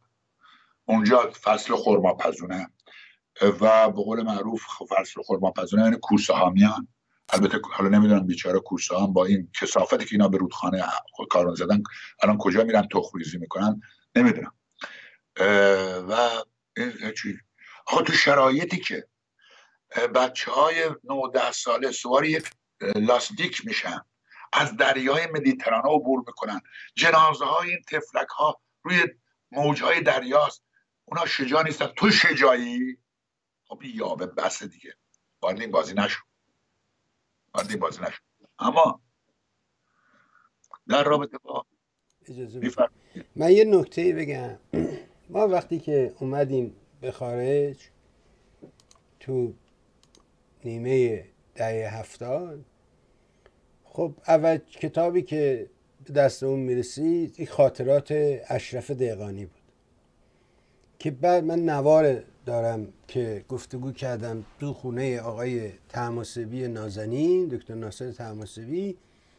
گاهی اوقاتم از آقای حسن ماسالی خواهش می‌کردیم ایشون هم تشریف بیارن که اگر نکته ای رو مثلا به خاطر مشکلاتی که آقای تماسبی بهش دچار شده بود می‌دونی که این نازنین اول زنش که یارش بود. از ایام جوانی که اومده بود آلمان با این همسری زندگی کرده بود و کمکش بود تو دفترش کمکش می‌کرد مثل یه نرس اونجا کار می‌کرد. رو از دست داد. خب خیلی سخت بود. در اون سن و سال آدم همسرش رو یارش عشقش رو از دست بده. خب یه ضربه است. مدتی طول نکشید. چند ماه بعد خونش سوخت. خونش آتش گرفت و گفت رفتم توی همون داشتم دوش می‌گرفتم یهودم برق رفت. تا اومدم به خودم بجنبندم آتیشه. همینجوری لخت و پتی توی سرمای واشنگتن اومدم از آتیش و اینا پام خورد به این یارو خوردم زمین و زخم و زیلی شدم و اینا. اومدم رفتن در خونه همسایه. هرچی در می‌زدن همسایه پشت پنجره نگاه می‌کرد و وحشت کرده بود در باز نمی‌کرد و خونه سوخت. خیلی غم بود. بعد با هم رفتیم یه روز اون خونه رو نگاه می‌کردیم. لای خاکسترا دست می‌کرد. یه تیکه گوشه یه تیکه قالیچه بود. یه اون قالیچه رو بلند کرد و اش ریخت و گفت اینو موقعی که از ایران از قوم می اومدم پدرم به هم داد که اگر ناصر اونجا لنگ شدی اینو بر بفروش. و یا مثلا یه تیکه رو برم داشت که آ این مال همسرم بود. خیلی و این ضربه بزرگی بود که بعد دیگه دچار مشکلات شد و اینا. به همین خاطر خب حافظهشو از دست داده. یه جوری یادش میاد یادش میره و اینا. و منم دوربین رو میبردم باهاش میشستیم حرف می‌زدیم. از کنفدراسیون بگو از خاطراتت بگو. آقای ماسالی رو میومد گاهی به خاطر همین موضوع. و اون فیلم ها رو هم چندین بار پخش کردیم. آره بازم پخش می‌کنیم حسن ماسالی گفتم راجع به همین کتاب اشرف دقانی گفتم که اتفاقا اون کتاب رو ما چاپ کردیم. حالا ما نمی‌دونم کیه ولی گفت ما اینو در بیرون بردیم در لیبی اون مناطق چاپ کردیم. توضیح میگم یه کتاب کوچیکی بود قطع جیبی کوچیک و خیلی هم چاپ بد و پر از غلط و اینا صفحات تکراری و صفحه پشت رو و اینا بمونه. خب اونجا همونجور که میگی قلوف زیاد بود. به روز از طبقه سوم بیمارستان شهربانی پرید پایین و بعد دید نمرد و بعد دست کرد شکمشو در آورد و روده کشید بیرون و اینها و بعد پاسبانا ریختن روده ها رو کردن تو و دوباره بردنش بالا و اینا و بعد ادامش کردن خیلی آدم واقعا تحت تاثیر واقع میشه خب یه روزگاری بود یک شوروی بود یه آرمان بود یه سوسیالیزمی بود یه چیزایی بود آدما جذب شدن امروز دیگه اونا وجود نداره. یعنی دیگه اونا واقعا نیست.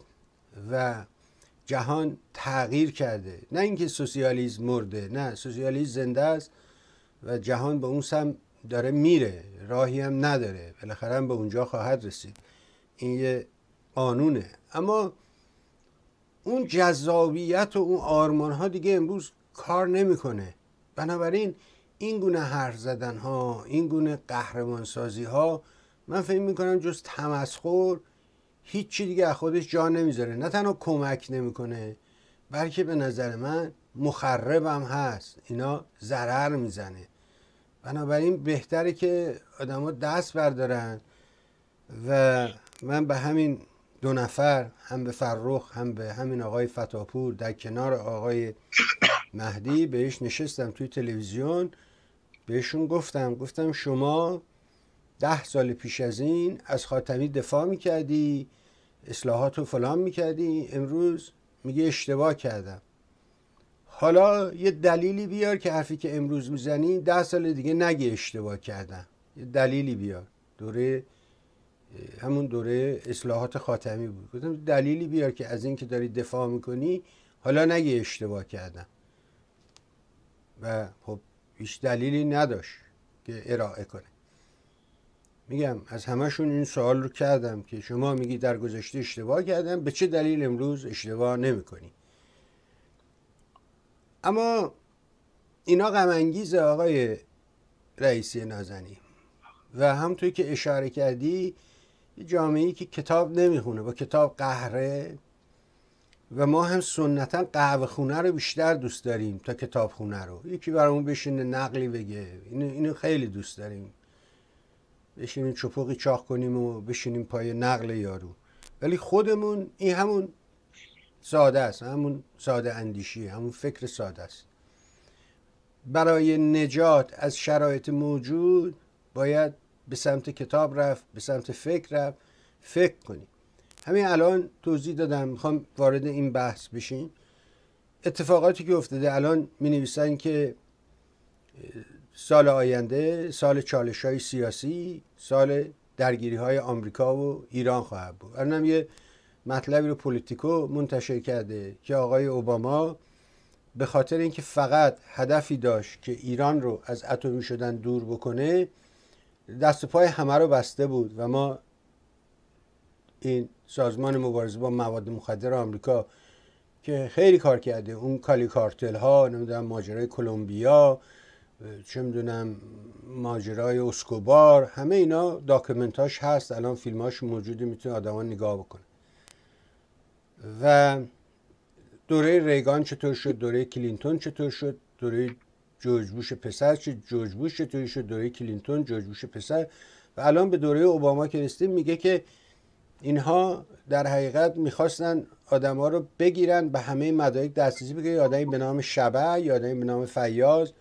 اینا همه چی حاضر بود ولی اوباما حاضر نشد. گفت ما داریم با ایران این دیل اتمی رو می‌کنیم. هدف این هستش که ایران رو از اتمی شدن دور کنیم. که راستی هم کرده. خب این یه واقعیت ایران رو از اتمی شدن برای همیشه محروم کرده. اینکه حالا ده سال دیگه می‌خواد بکنه اینا در مصاحبه‌ای که با آقای مهران مصطفی در پاریس انجام داده اون هم اثبات کرد که چنین چیزی امکان نداره. ایران با صرف میلیون ها میلیون دلار هزینه محروم کرد ایران رو از همه مسائل.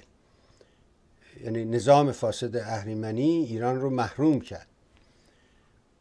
حالا این ماجرای موشک بازی و این حرفایی که می‌زنن آیا ایران به نظرت با آمریکا میرن که درگیری نظامی ایجاد بکنن؟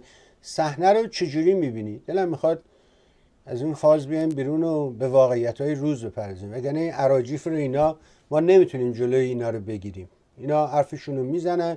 فقط تنها کاری که ما می‌تونیم این است که بگیم بگیم آقا اینا دروغه اینا حجویات اینا بیخودکیه. یعنی آدم های وقیه فقط این کار رو انجام میدن. خوشحال میشم در این زمینه نظر شما رو بشنوم. بفرم سپاسگزارم. در صورت همینجا اضافه بکنم چون سوالی هم توی چارچوب این آقای مثلا رفیق سابق ما. نه امایی چون ویدیوهای زیادی با استقبال زیادی هم روبرو شد. برای اولین بار بود که ایشون صحبت از شکنجه های هولناکی که در نظام جمهوری اسلامی بر اونها روا داشته شد می‌کنه که از قپانی گرفته تا کاپ زدن تا فلان و مقایسه هم بخش دیگرش می‌کنه. به اصطلاح شکنجه رژیم گذشته بر مقایسه می‌کنه با وضعیت فعلی. یکی از چیزای عجیبی که مطرح می‌کنه که چگونه اینا رو وادار می‌کردن.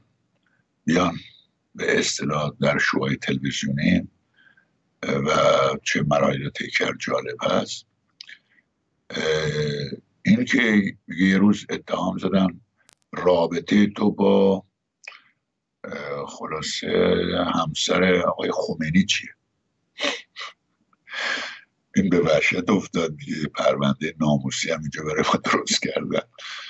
و تنز روزگاره. بعدش میگه من رابطه نداشتم. این چه سوالی این چه فلانه بعد میگن منظور رابطه چیز نیست. رابطه سیاسی. یعنی می‌خواستن بگن که حزب توده رخنه کرده تو بیت رهبری. از طریق کی؟ سقفی. سقفی فکر می‌کنم برادر زن خمینی. که که آدم جالبی هستن این آدم. مجله گفتگو رو در ایران مدیریت می‌کرد. خیلی مطالب جالب و خواندنه بسیار در رابطه با اندیشه مدرن و اینها توش بود. کتاب فروشی نشریاتی داره. متفاوتی کارکترش با بازی و قدرت. یعنی بابا رو شکنجه می‌دادن که اعتراف بکنه که از طریق سقفی که دوست ایشون بوده رخنه کردن تو بیت رهبری و فلان. یعنی حالا چرا این جالبه برای من کنجکاف شدم. چرا این سال هشتاد و هشت این مصاحبه صورت گرفته؟ چرا الان بسرا منتشر میشه؟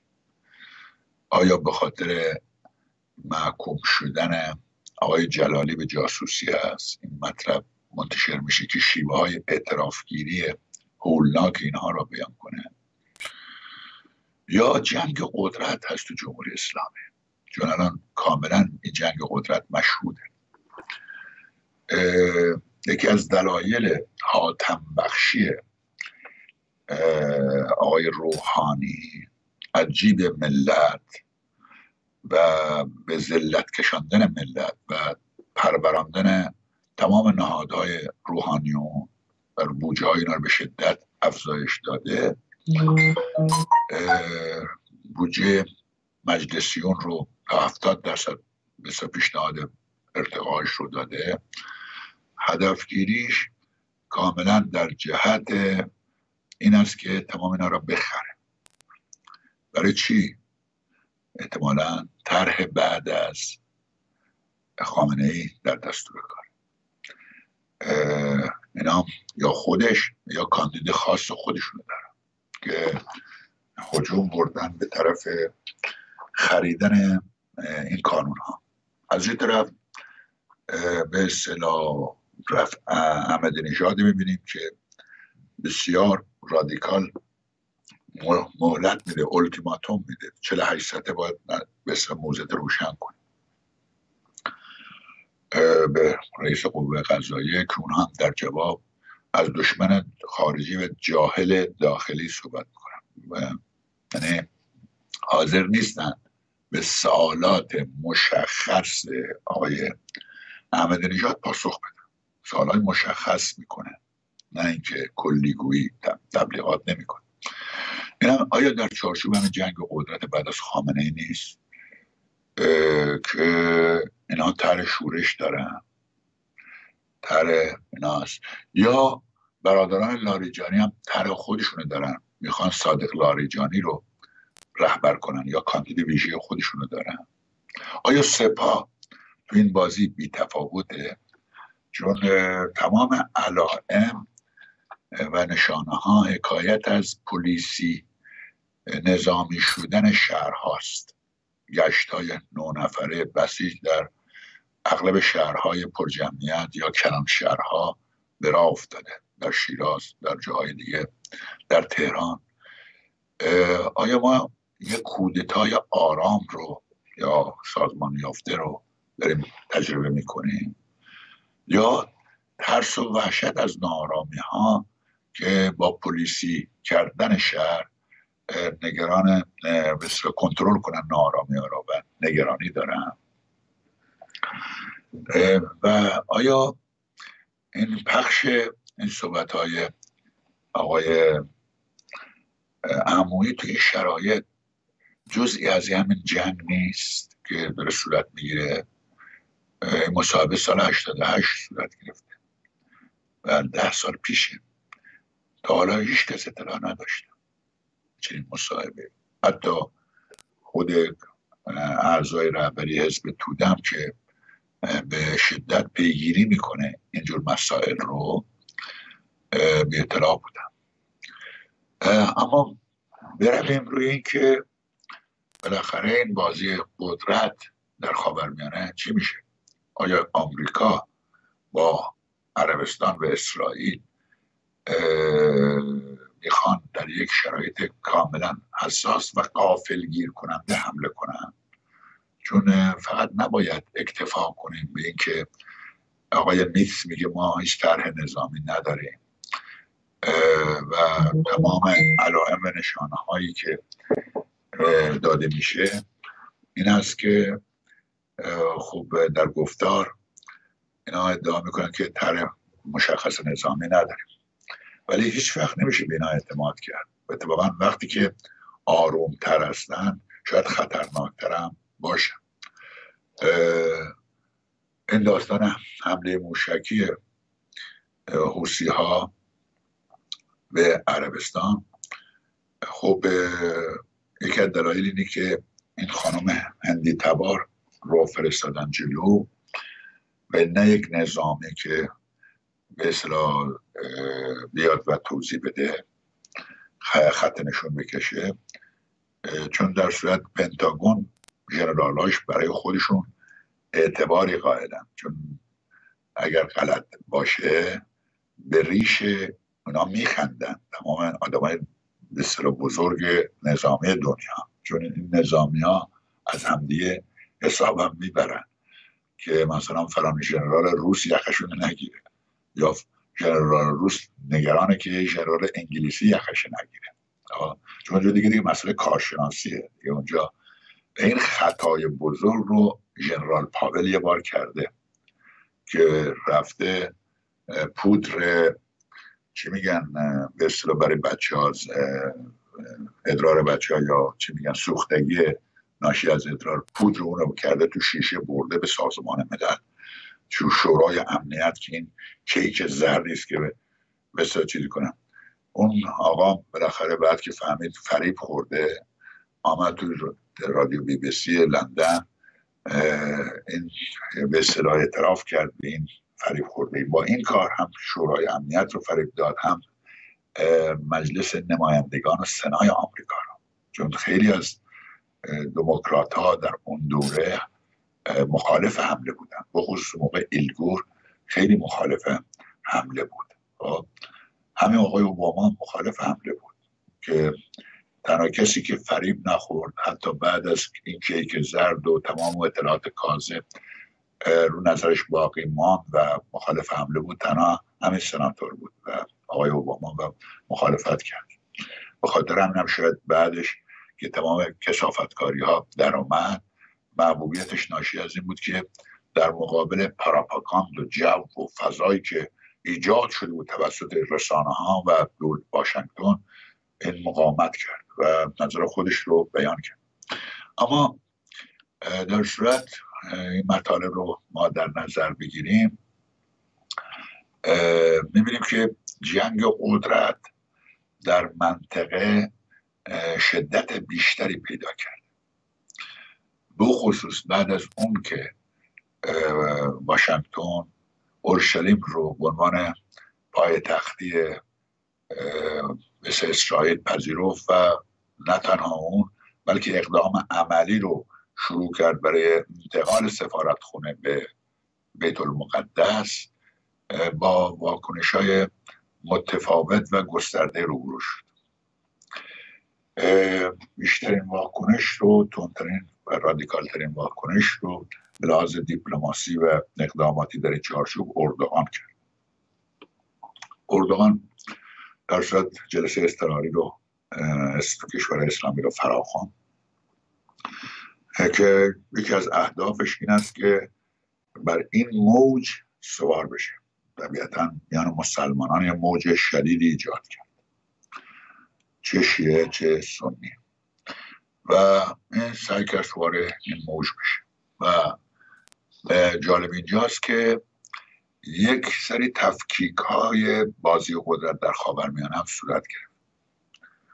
و اون این است که عربستان تقریبا تو این بازی منزوی شد.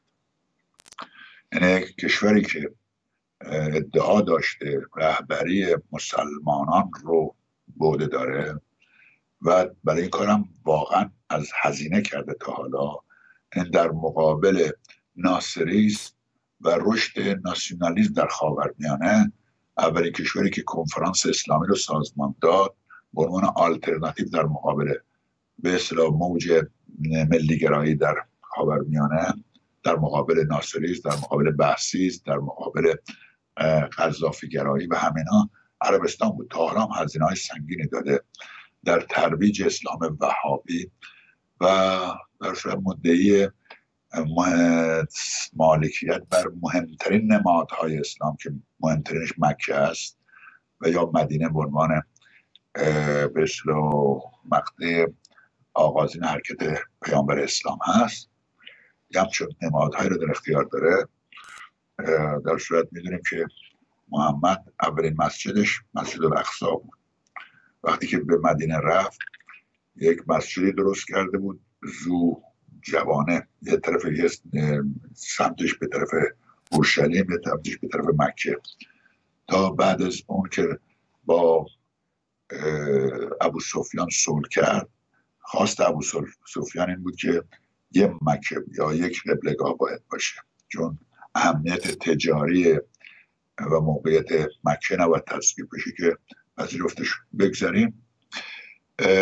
اردوغان این بازی ما ببینیم این اتفاقات افتاده. یک وهابیون عملا در, در مقابل اخوانیون ایستادن. یعنی اینجا یک جنگ حساب کاملا برجسته بین اخوانی ها و وهابیون شروع شد. که به اصطلاح خود آقای اردوغان از سرکردگان اخوانی هست اخوانی ها تو ایران نیرو دارن نفوذ دارن و ما قدرتمند هستن. که در رأسشون به اعتقاد من به اصطلاح بعد از اون فدایان اسلام و کاشانی و اینها عملا رفسنجانی و داردستش رو بسیار از اینا تو طیف اخوانی ها قرار گرفتن. که توی بازی خاورمیانه همه جا نظرات اینها رو میشه رصد کرد. پس یه دعوا اوج گرفتن دعوا بین اخوانی ها و وهابی هست قطر با اخوانی هست مصر آسیب دیده از اخوانی هست و همین دلیلم که کنفرانس اسلامی هم مصر هم عربستان در پایین سطح پایین نمایندگی شرکت کردن و نمی‌تونستم تحریم کنم و صورت خیلی انگشت نما شدن ولی در عوض پادشاه اردن جایگاه ویژه پیدا کرد که این شکاف بین هاشمیون با آل سعود است که یک گذشته تاریخی نسبتا طولانی جنگ اینها وجود داره که در شد نقشه جغرافیای خاورمیانه بعد از فروپاشی عثمانی عملا انگلیسی ها دو تا طایفه رو که هر دو هم نوکر انگلیس بودن هر دو عمال انگلیس بودن برای خاورمیانه غالب کردن دیگه. اردن و عراق و نفاق سوریه قبلی و یعنی موقع با لبنان اینا مال شاه هاشمیون شد اونم مال ابن سعود شد.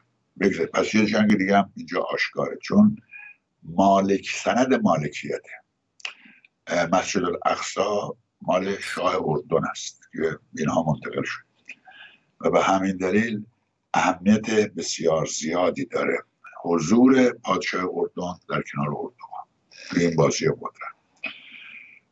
جمهوری اسلامی هم تو این راستا داره حرکت می‌کنه که تمام نیروهای میان رو بعد از این تصمیم آمریکا به شدت رادیکال شدن. حتی الفت که استعداد بر این رو داشته که این رادیکالیزم از طریق پرتاب و موشک نشون بده. در ساحل غربی رود اردن به مناطق یهودی نشین. خب. و احتمالا به سفری به ایران خواهد کرد. و این سفر در صورت چندان به سود عربستان نیست. همزمان ما می‌تونیم شاهدین باشیم که اقدامات سیاسی و دیپلماسی کافی نیست. ادامه پیدا می‌کنه. من فکر می‌کنم که برخی کشور اسلامی به ویژه ایران در جهت ایجاد یک ارتش برای آزادی قدس اقدام خواهد کرد. یعنی به نام تلفیقی از فلسطینی ها حزب الله تلفیقی از سنی ها و اسمش هم می‌ذارن احتمالا ارتش راهای قدس. همونطور که این داوطلبان زینبیون از افغانستان آوردن برای سوریه در یه حادثه دیگه هم داره اتفاق میفته ارتش ترک هم داره به وجود میاد. ترک تبارا. بین ترکیه آذربایجان ازبکستان و مغولستان. این بسیار پرمعناست که مراحل اجراییش آغاز شد. سال اینجاست که طبیعتا اگر این ارتش با همکاری این کشورها که بیانگر ایدال های پانتورکا هست که از باتور تا استانبول اینها ترک تبارند و اینها میبایست مثلا هدف کنم. آیا این ارتش در تعارض با منافع روسیه است یا در همسویی؟ این مسئله کلیدی است. چون این طرح امپریالیستی انگلیس بود که از قرن 19 با دو تر آمد جلو و موفق بود. یکیش این بود که پان عربیس رو شکل بده بر علیه امپراتوری عثمانی که موفق بود. و امپراتوری رو متلاشی کرد امپراتوری عثمانی رو. همزمان آمد پان ترکیز رو به اصطلاح مدرنیتیز کرده توریزه کرد به وسیله یک یهودی مجاری که پایای توریک پانتورکیز رو ریخت در کتاب معروفش. از این طریق می‌خواست که ترک ها رو در این جغرافیا از اولان باتور تا خاورمیانه بر علیه روسا به کار بر علیه امپراتوری تزاری. و تو قسمت اول موفق شد. تو قسمت دوم هم اقدامات جدی صورت گرفت که به فروپاشی البته روسیه تزاری و روی کارآمد چپ ها بود که اگر این اتفاق صورت نمی گرفت احتمال زیاد به اصطلاح بخش زیادی به طرف ایجاد همین کشورهای ترک تبار می‌رفت. حالا سوال اینجاست که این ارتش که الان دیگه روزنامه ای شده و ژاندارمری ترکیه هم به اصطلاح مسئولیت آموزش این نیروها رو بوده گرفته بود احتمالا مرکزش هنوز معین نشده مرکزش در ترکیه خواهد بود احتمالا. باید دید که مرکزش کجا خواهد بود؟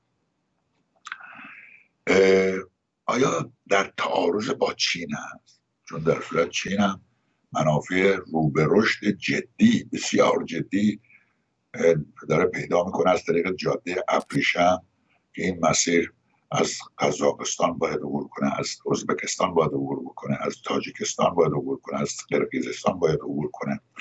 بعدش بیاد به اصطلاح به طرف باکو و اینها. این محیط امن می‌خواد. طرحهای چین محیط امن می‌خواد.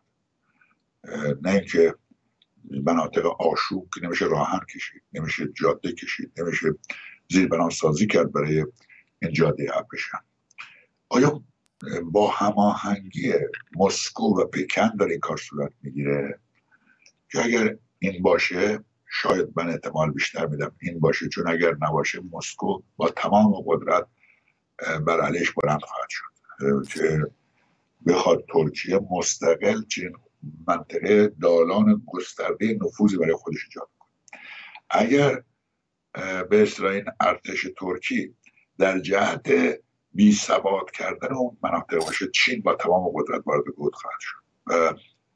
به نظرم میاد اینها مقدمات ورود ترکیه به شانگهای است و همکاری استراتژیک با شانگهای و بخصوص با پکن در زمینه مسائل تجاری.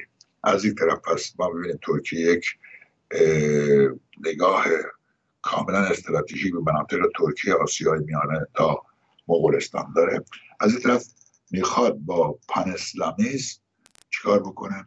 بلند کردن پان این حضور خاورمیانه خودش رو به شدت گسترش بده و اینجا باید دید که همسوی اینها چی است همسوی با ایران. و من فکر می‌کنم به زودی عراق را هم وارد این همکاری استراتژیک با چون سه کشور تو خاورمیانه همکاری استراتژیک با روسیه و ترکیه و ایران احتمالا عراق هم وارد این مرحله بشه با توجه به اینها آمریکا عملا هی نفوذش کمتر میشه و این کاری که آقای ترامپ کرد ضربه سنگینی به حضور فیزیکی و بخصوص معنوی آمریکا وارد کرد.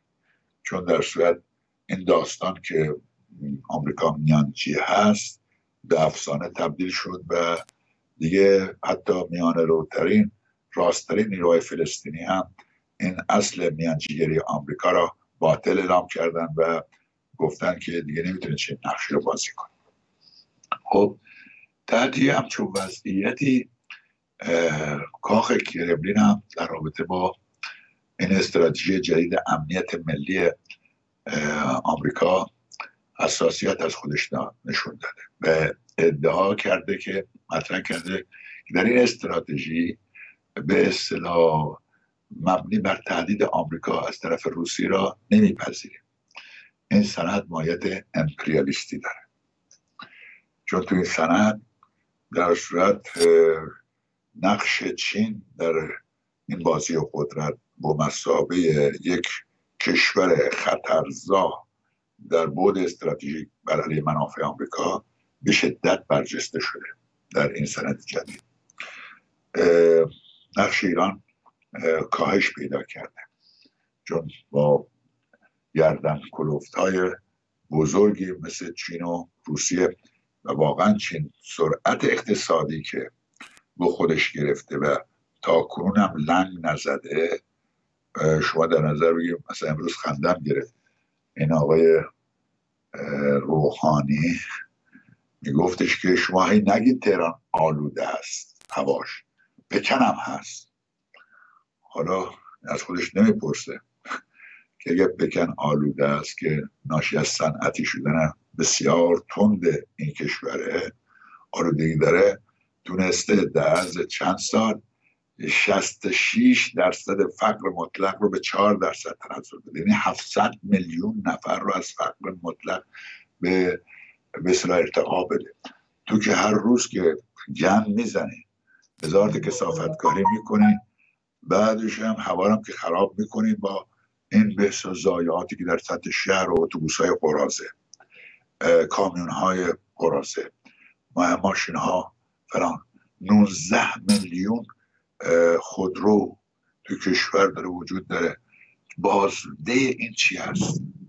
مصرف سرانه انرژی تو چقدر است؟ اینا از خود سوال کن. یعنی ما 20 برابر یه هندی مصرف سرانه انرژی مون است به اصطلاح ژاپنیا از هر بشک نفت دوازده برابر بیشتر از ما سود حاصل می‌کنن. یعنی دوازده برابر. یا هندیا 20 برابر کمتر سفره انرژیشون است این وضعیت می‌خواید تا به کجا ببریم که اگر فرصت شد بهش می‌پردازم. در صورت چرا روسا میگن این سند امپریالیستیه؟ هژمونی طلبان است درست میگن. برای که آمریکایا علا رقم شکست های فاحشی که خاورمیانه خوردن تو رقابت اقتصادی با چین چین با سرعت شتاب جدی داره میره بالا. با وجودی که روسا تونستن این به اصطلاح تفاوت یا عقب ماندگی تکنولوژی نظامی خودشون رو که از دهه هفتاد شروع شده بود تا سال تا سالهای اخیر ادامه پیدا کرده از لحاظ هواپیما از لحاظ به اصطلاح تانک توپ چیزای در اصطلاح متعارف رو داره میگم.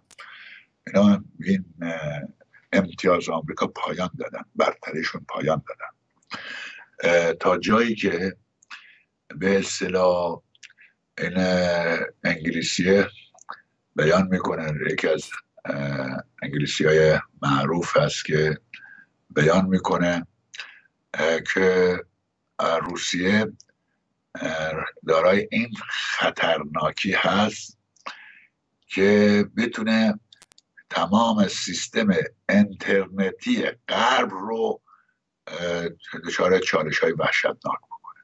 علتش هم این است که مثل برتری های زیادی در تکنولوژی مخابرات و, و داشتن زیر دریایی هایی که می‌تونن تا اعماق برن و این کابل های نوری رو تماما نابود بکنن رسیدن. خب با توجه به این توضیحات کرملین هر تری رو که آمریکایی‌ها بدهن که نظام تک قطبی رو باز بخوان پیش ببرن مورد قبولشون نیست. از نظر اونها مدت هاست که جهان به نظام چند قطبی رسیده. یعنی یه قطب آمریکاست یه قطب هم به روسیه و چین و اینها هست شانگای هست و بریتس هست یه قطب هم اتحادیه اروپا هست و آمریکایی نمیپذیرن این رو.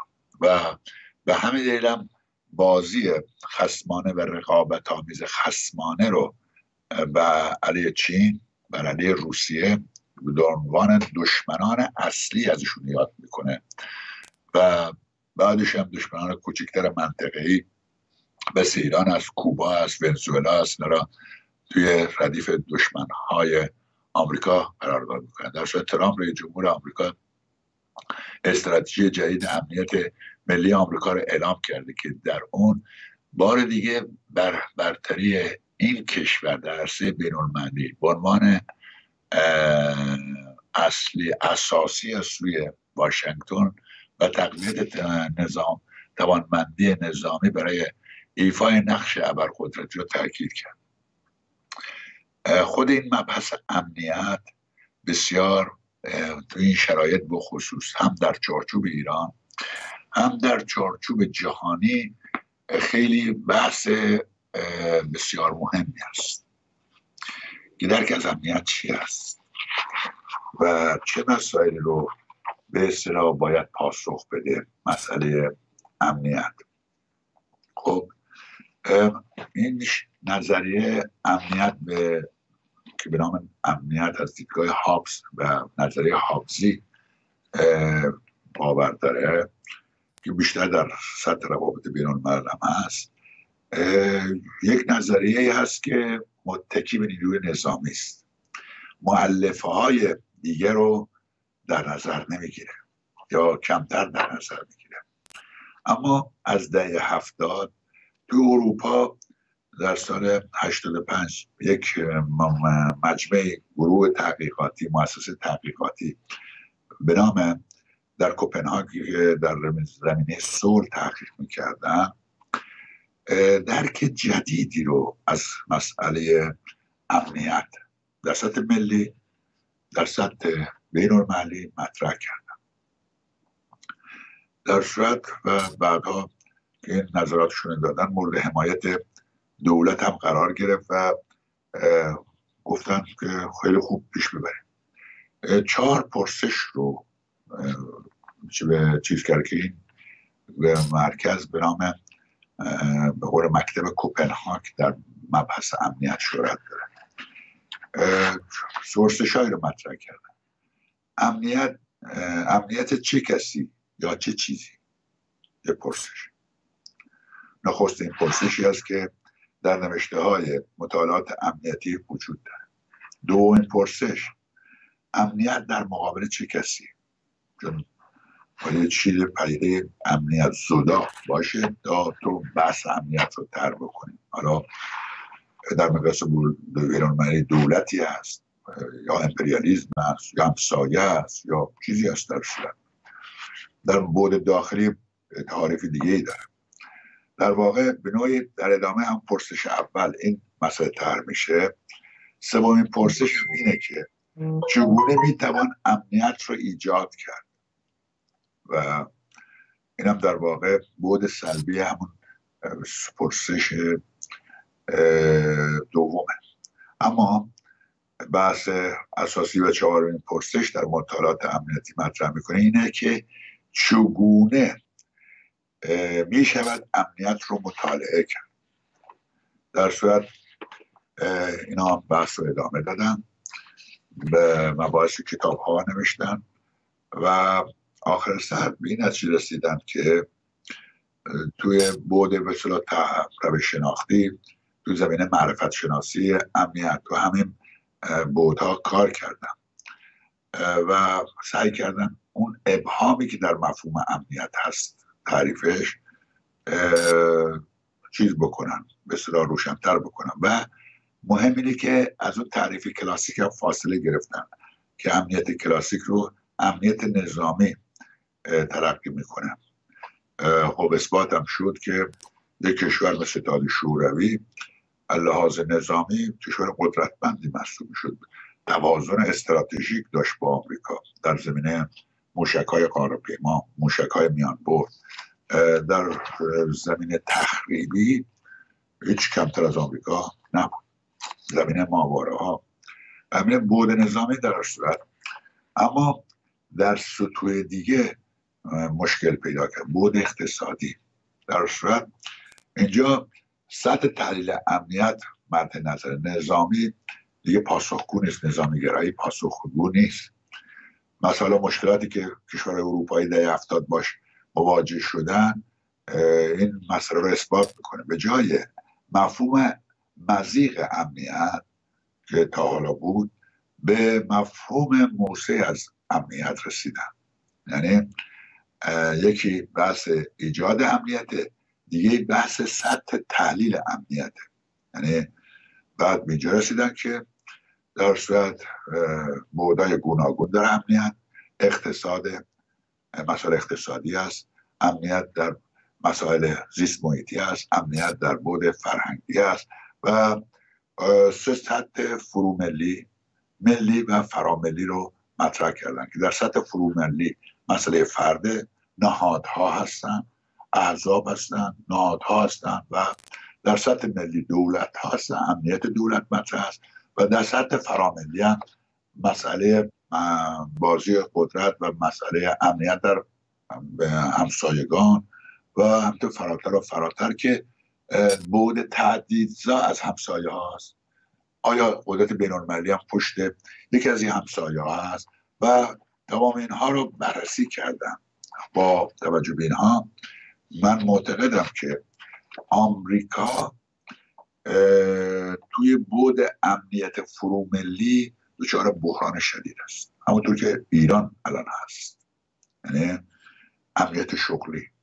با وجودی که میگن شغلی در صورت رشد این رشد ناهنجاری ها رشد راسیست همین پدیده حامیان انگلیکا یا مثل مسیحیان رادیکال پروتستانی حامی این بابا مشکلات زیادی رو به وجود آوردن و بحران شدیدی رو بین جوامع مسلمان و در صورت مسیحی ایجاد می‌کنه. قطبی کردن جامعه آمریکاست.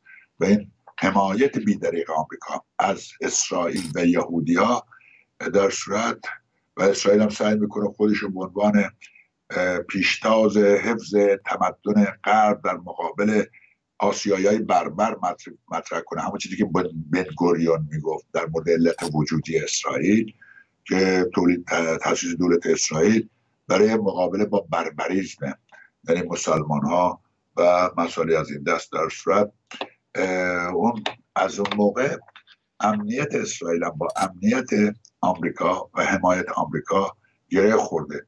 شما فقط آمریکا هزینه هایی که پرداخته بیش از سه تریلیون دلار تا حالا برای حفظ امنیت اسرائیل. سه تریلیون به مدت سه هزار میلیارد دلار.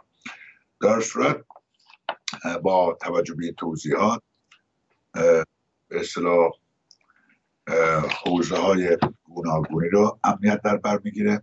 در واقع امنیت مثل سیاست اقتصاد فرهنگ اینها نیست. که حوزه مشخصی باشه. یا تو همون حوزه صحبت کن. متولیون هم سازمان ها و نهادهای خاص باشن.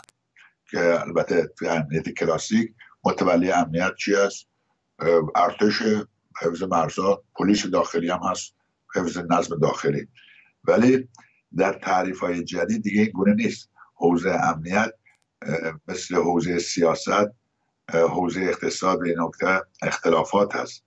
وقتی که امنیت از وضعیت به حوزه تقلیل بکنه میگیم حوزه امنیت. امنیت یه وضعیت نه یک حوزه است.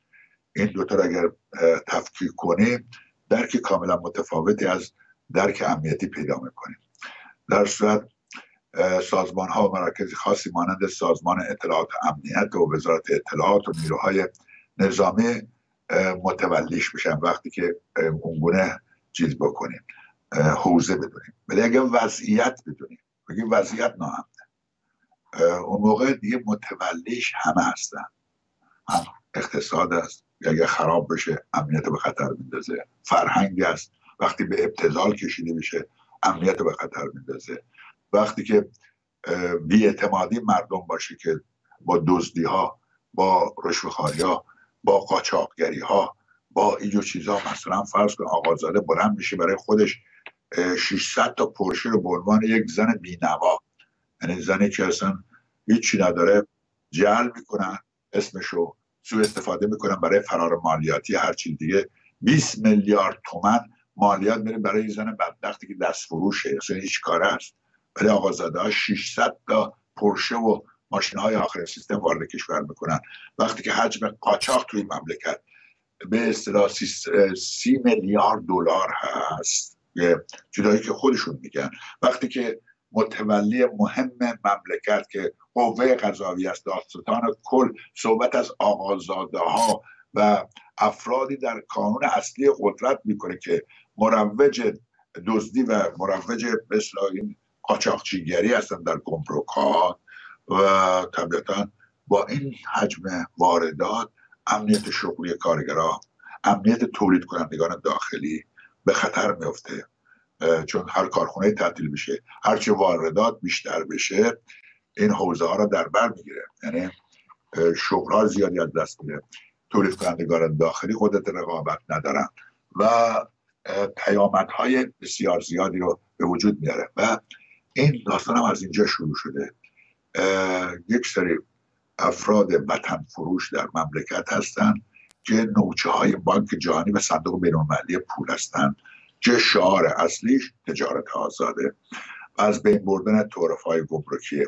حالا یه جا نمی‌تونه قاچاق می‌کنه. با آزاد گذاردن صادرات و واردات رو رمز موفقیت اقتصاد غربی به اصطلاح تو چارچوب این گلوبالیزاسیون و جهانی شدن و اینجور چیزها مطرح می‌کنن که دروغ بزرگی است که این مغزنبارا یا تینک تانک های به قول معروف غربی و جانک جهانی و اینها توریزه کردن و با جعل اسناد ارقام و یوشیدا به نخبگان کشورهای عقب مانده اقتصاددانهای دولت جمهوری اسلامی تا کنون از همینا بودن و تمام فجایع اقتصادی که میاد ما فقط احمد نژاد ببینیم ما فقط به اصطلاح روحانی ببینیم یا کی اسمش هست رفسنجانی و خاتمی. اینا اصلا عقل و شعور ندارن در مورد مسائل اقتصادی. چیزی نمی‌فهمن. تحصیلات حوزوی کرده هیچ فهم و شعوری از مسائل اقتصادی نداره. اینها نسخه های آقای غنی نژاد رو پیاده می‌کنن. نسخه های نمیفهم سریع القلم و اینا جز نخبگان همین نوع لیبرالیسم اقتصادی هستن. اینا رو پیاده می‌کنن که کشور رو کاملا به ناامنی می‌بره. و میگن دروازهای خودتون رو روی کالاهای ما باز کنید. حمایت از صنایع داخلی و کشاورزی خود رو کنار بگذارید. بگذارید صنایع داخلی تا در یک رقابت آزاد. اگه میشه همچنین اگه میشه؟ مثلا فرض کشور ما می‌تونه با ژاپن رقابت کنه. دیوانه می‌تونه با چین رقابت کنه. می‌تونه حتی با ترکیه رقابت کنه. تمام شرایط زمان و همه چی رو ما دست دادیم. حتی اقتصاد روسیه که بسیار صنعتی هم هست قدرت رقابت با چین رو نداره. خود آمریکا قدرت رقابت با چین رو نداره. رقابت آزاد. به خاطر چی است که الان آمریکا فریادش بلند شده بر علیه سازمان تجارت جهانی و می‌خواد بیاد بیرون؟ چون به ضررشه. چون قدرت رقابت نداره. چون در صورت کالای چینی از این امتیاز برخورداره نیروی کار ارزان داره. آمریکا نمی‌تونه داشته باشه. دیگه نمی‌تونه. دیگه گذشت اون مراحل آغازین سرمایهداری که با بردهداری شروع کردن. اونجور هم که میگن با لیبرالیسم شروع نکرد با بردهداری شروع کردن. اون مراحل آغاز انباشت سرمایه در غرب همین بردگان آفریقا رو برمیداشتن بودن آمریکا و با صنایع پنبه هم بود. خب، پنبه. چون مهمترین و اولین کالاهای مهم صادراتی که تمام نساجی های هند و چین و ایران و همه رو نابود کرد نساجی های سنتی رو کالا انگلیسی پارچه انگلیسی بود. بازار رو فتح کرد. پنبش از آمریکا برده ها پنبه چیز می‌کردن. و بعدش هم جنگ شمال جنوب آمریکا و بین بردگان بردهداران و غیر بردهداران بود. روی همه مسائل بود. در صورت پس ببینید تاریخ مطلب را کشورهایی که از کالای داخلی به خودشون دفاع کردن حمایت کردن و فکر کردن اصلا انقلاب آمریکا در مقابل انگلیسی ها به خاطر حفاظت از بازار داخلیشون بود که در صورت جنگ اینجا کشید و نمی‌تونستن رقیب بشن اون با انگلیسی ها حفاظت کردن حمایت کردن. تا به قدرت تبدیل شدن قدرت تهاجمی پیدا کردن اون موقع شعار بازار آزاد رو دادن. همه کشورها اینجوری در صورت اما در صورت این را خلاصه بکنم که در صورت این پدیده با مرحله خصوصی سازی شروع میشه که عملا تو کشور ما این خصوصی سازی به مافیا سازی کشیده شده. ثروت های افسانه و انبو دولت رو دادم به یک افراد. بسیار مرحله دوم خلاصه سرمایه ها در این مرحله به داخل حجوم پیدا می‌کنن. آزادسازی سرمایه اسمش می‌ذارم و بعد مرحله سوم شروع میشه قیمت گذاری بر اساس بازار قیمت. نیازهای پایه مردم مانند آب و برق و اینا رو خصوصی می‌کنن که همه که تو کشور ما خیلی چیزا رو چیز کردن. و این بودلای بودجه اخیر به شدت ضد انسانی ضد کارگری و به نفع لایه های قدرت و ثروت هست.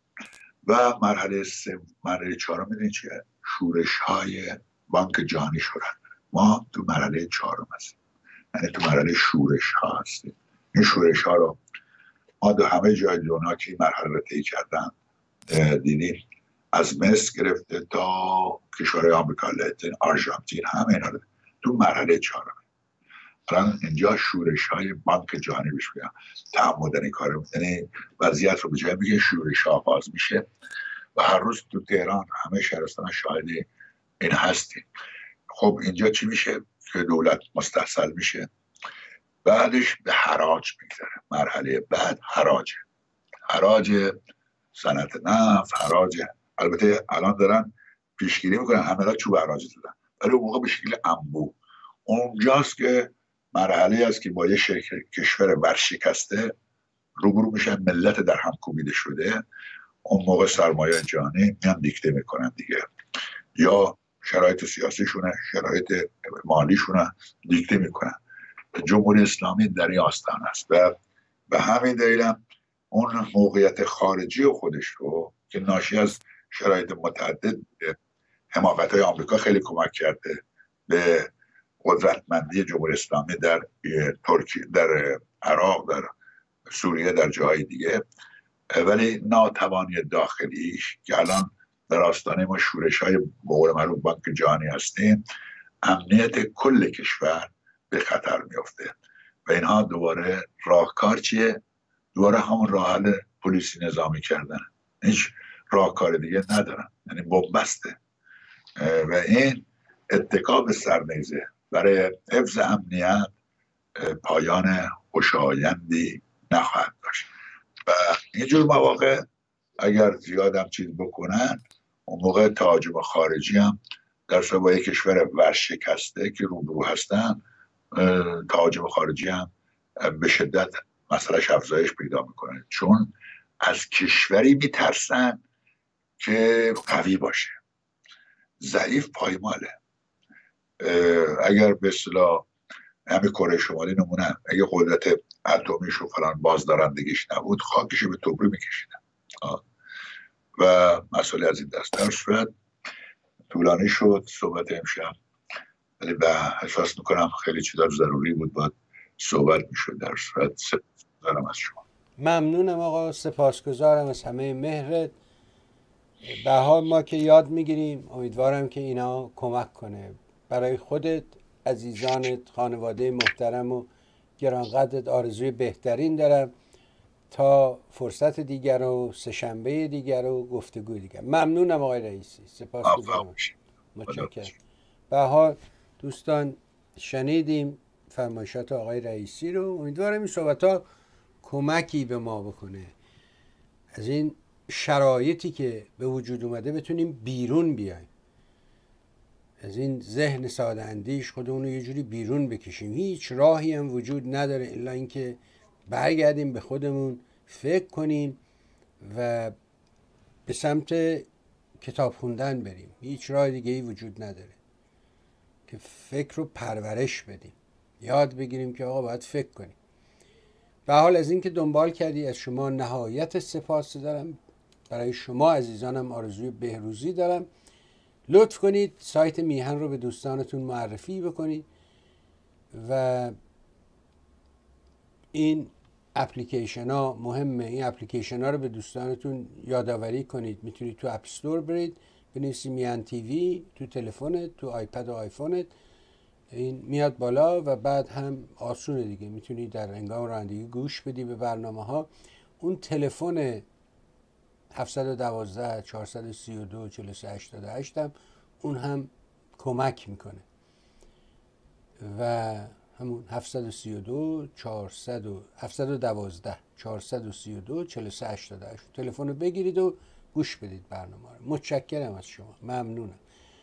و حالی ماه هم به پایان خودش نزدیک میشه. می‌دونم که ماه پرخرجیه برای کسانی که در خارج کشور زندگی می‌کنن. ماه کریسمس ماه دید و بازدید و خریدن هدیه برای بچه هاست بنابراین می‌دونم. ولی ما رو هم فراموش نکنید. ما نیازمند حمایت مالی شما هستیم. یه دی باید متحد بشن. حداقل بگن آقا ما برای یه سال تعهد میدیم. رقمی رو پرداخت کنن که ما بر اساس اون بتونیم برنامه ریزی کنیم. از حمایتت سپاس گذارم تا فرصتی دیگه متشکرم.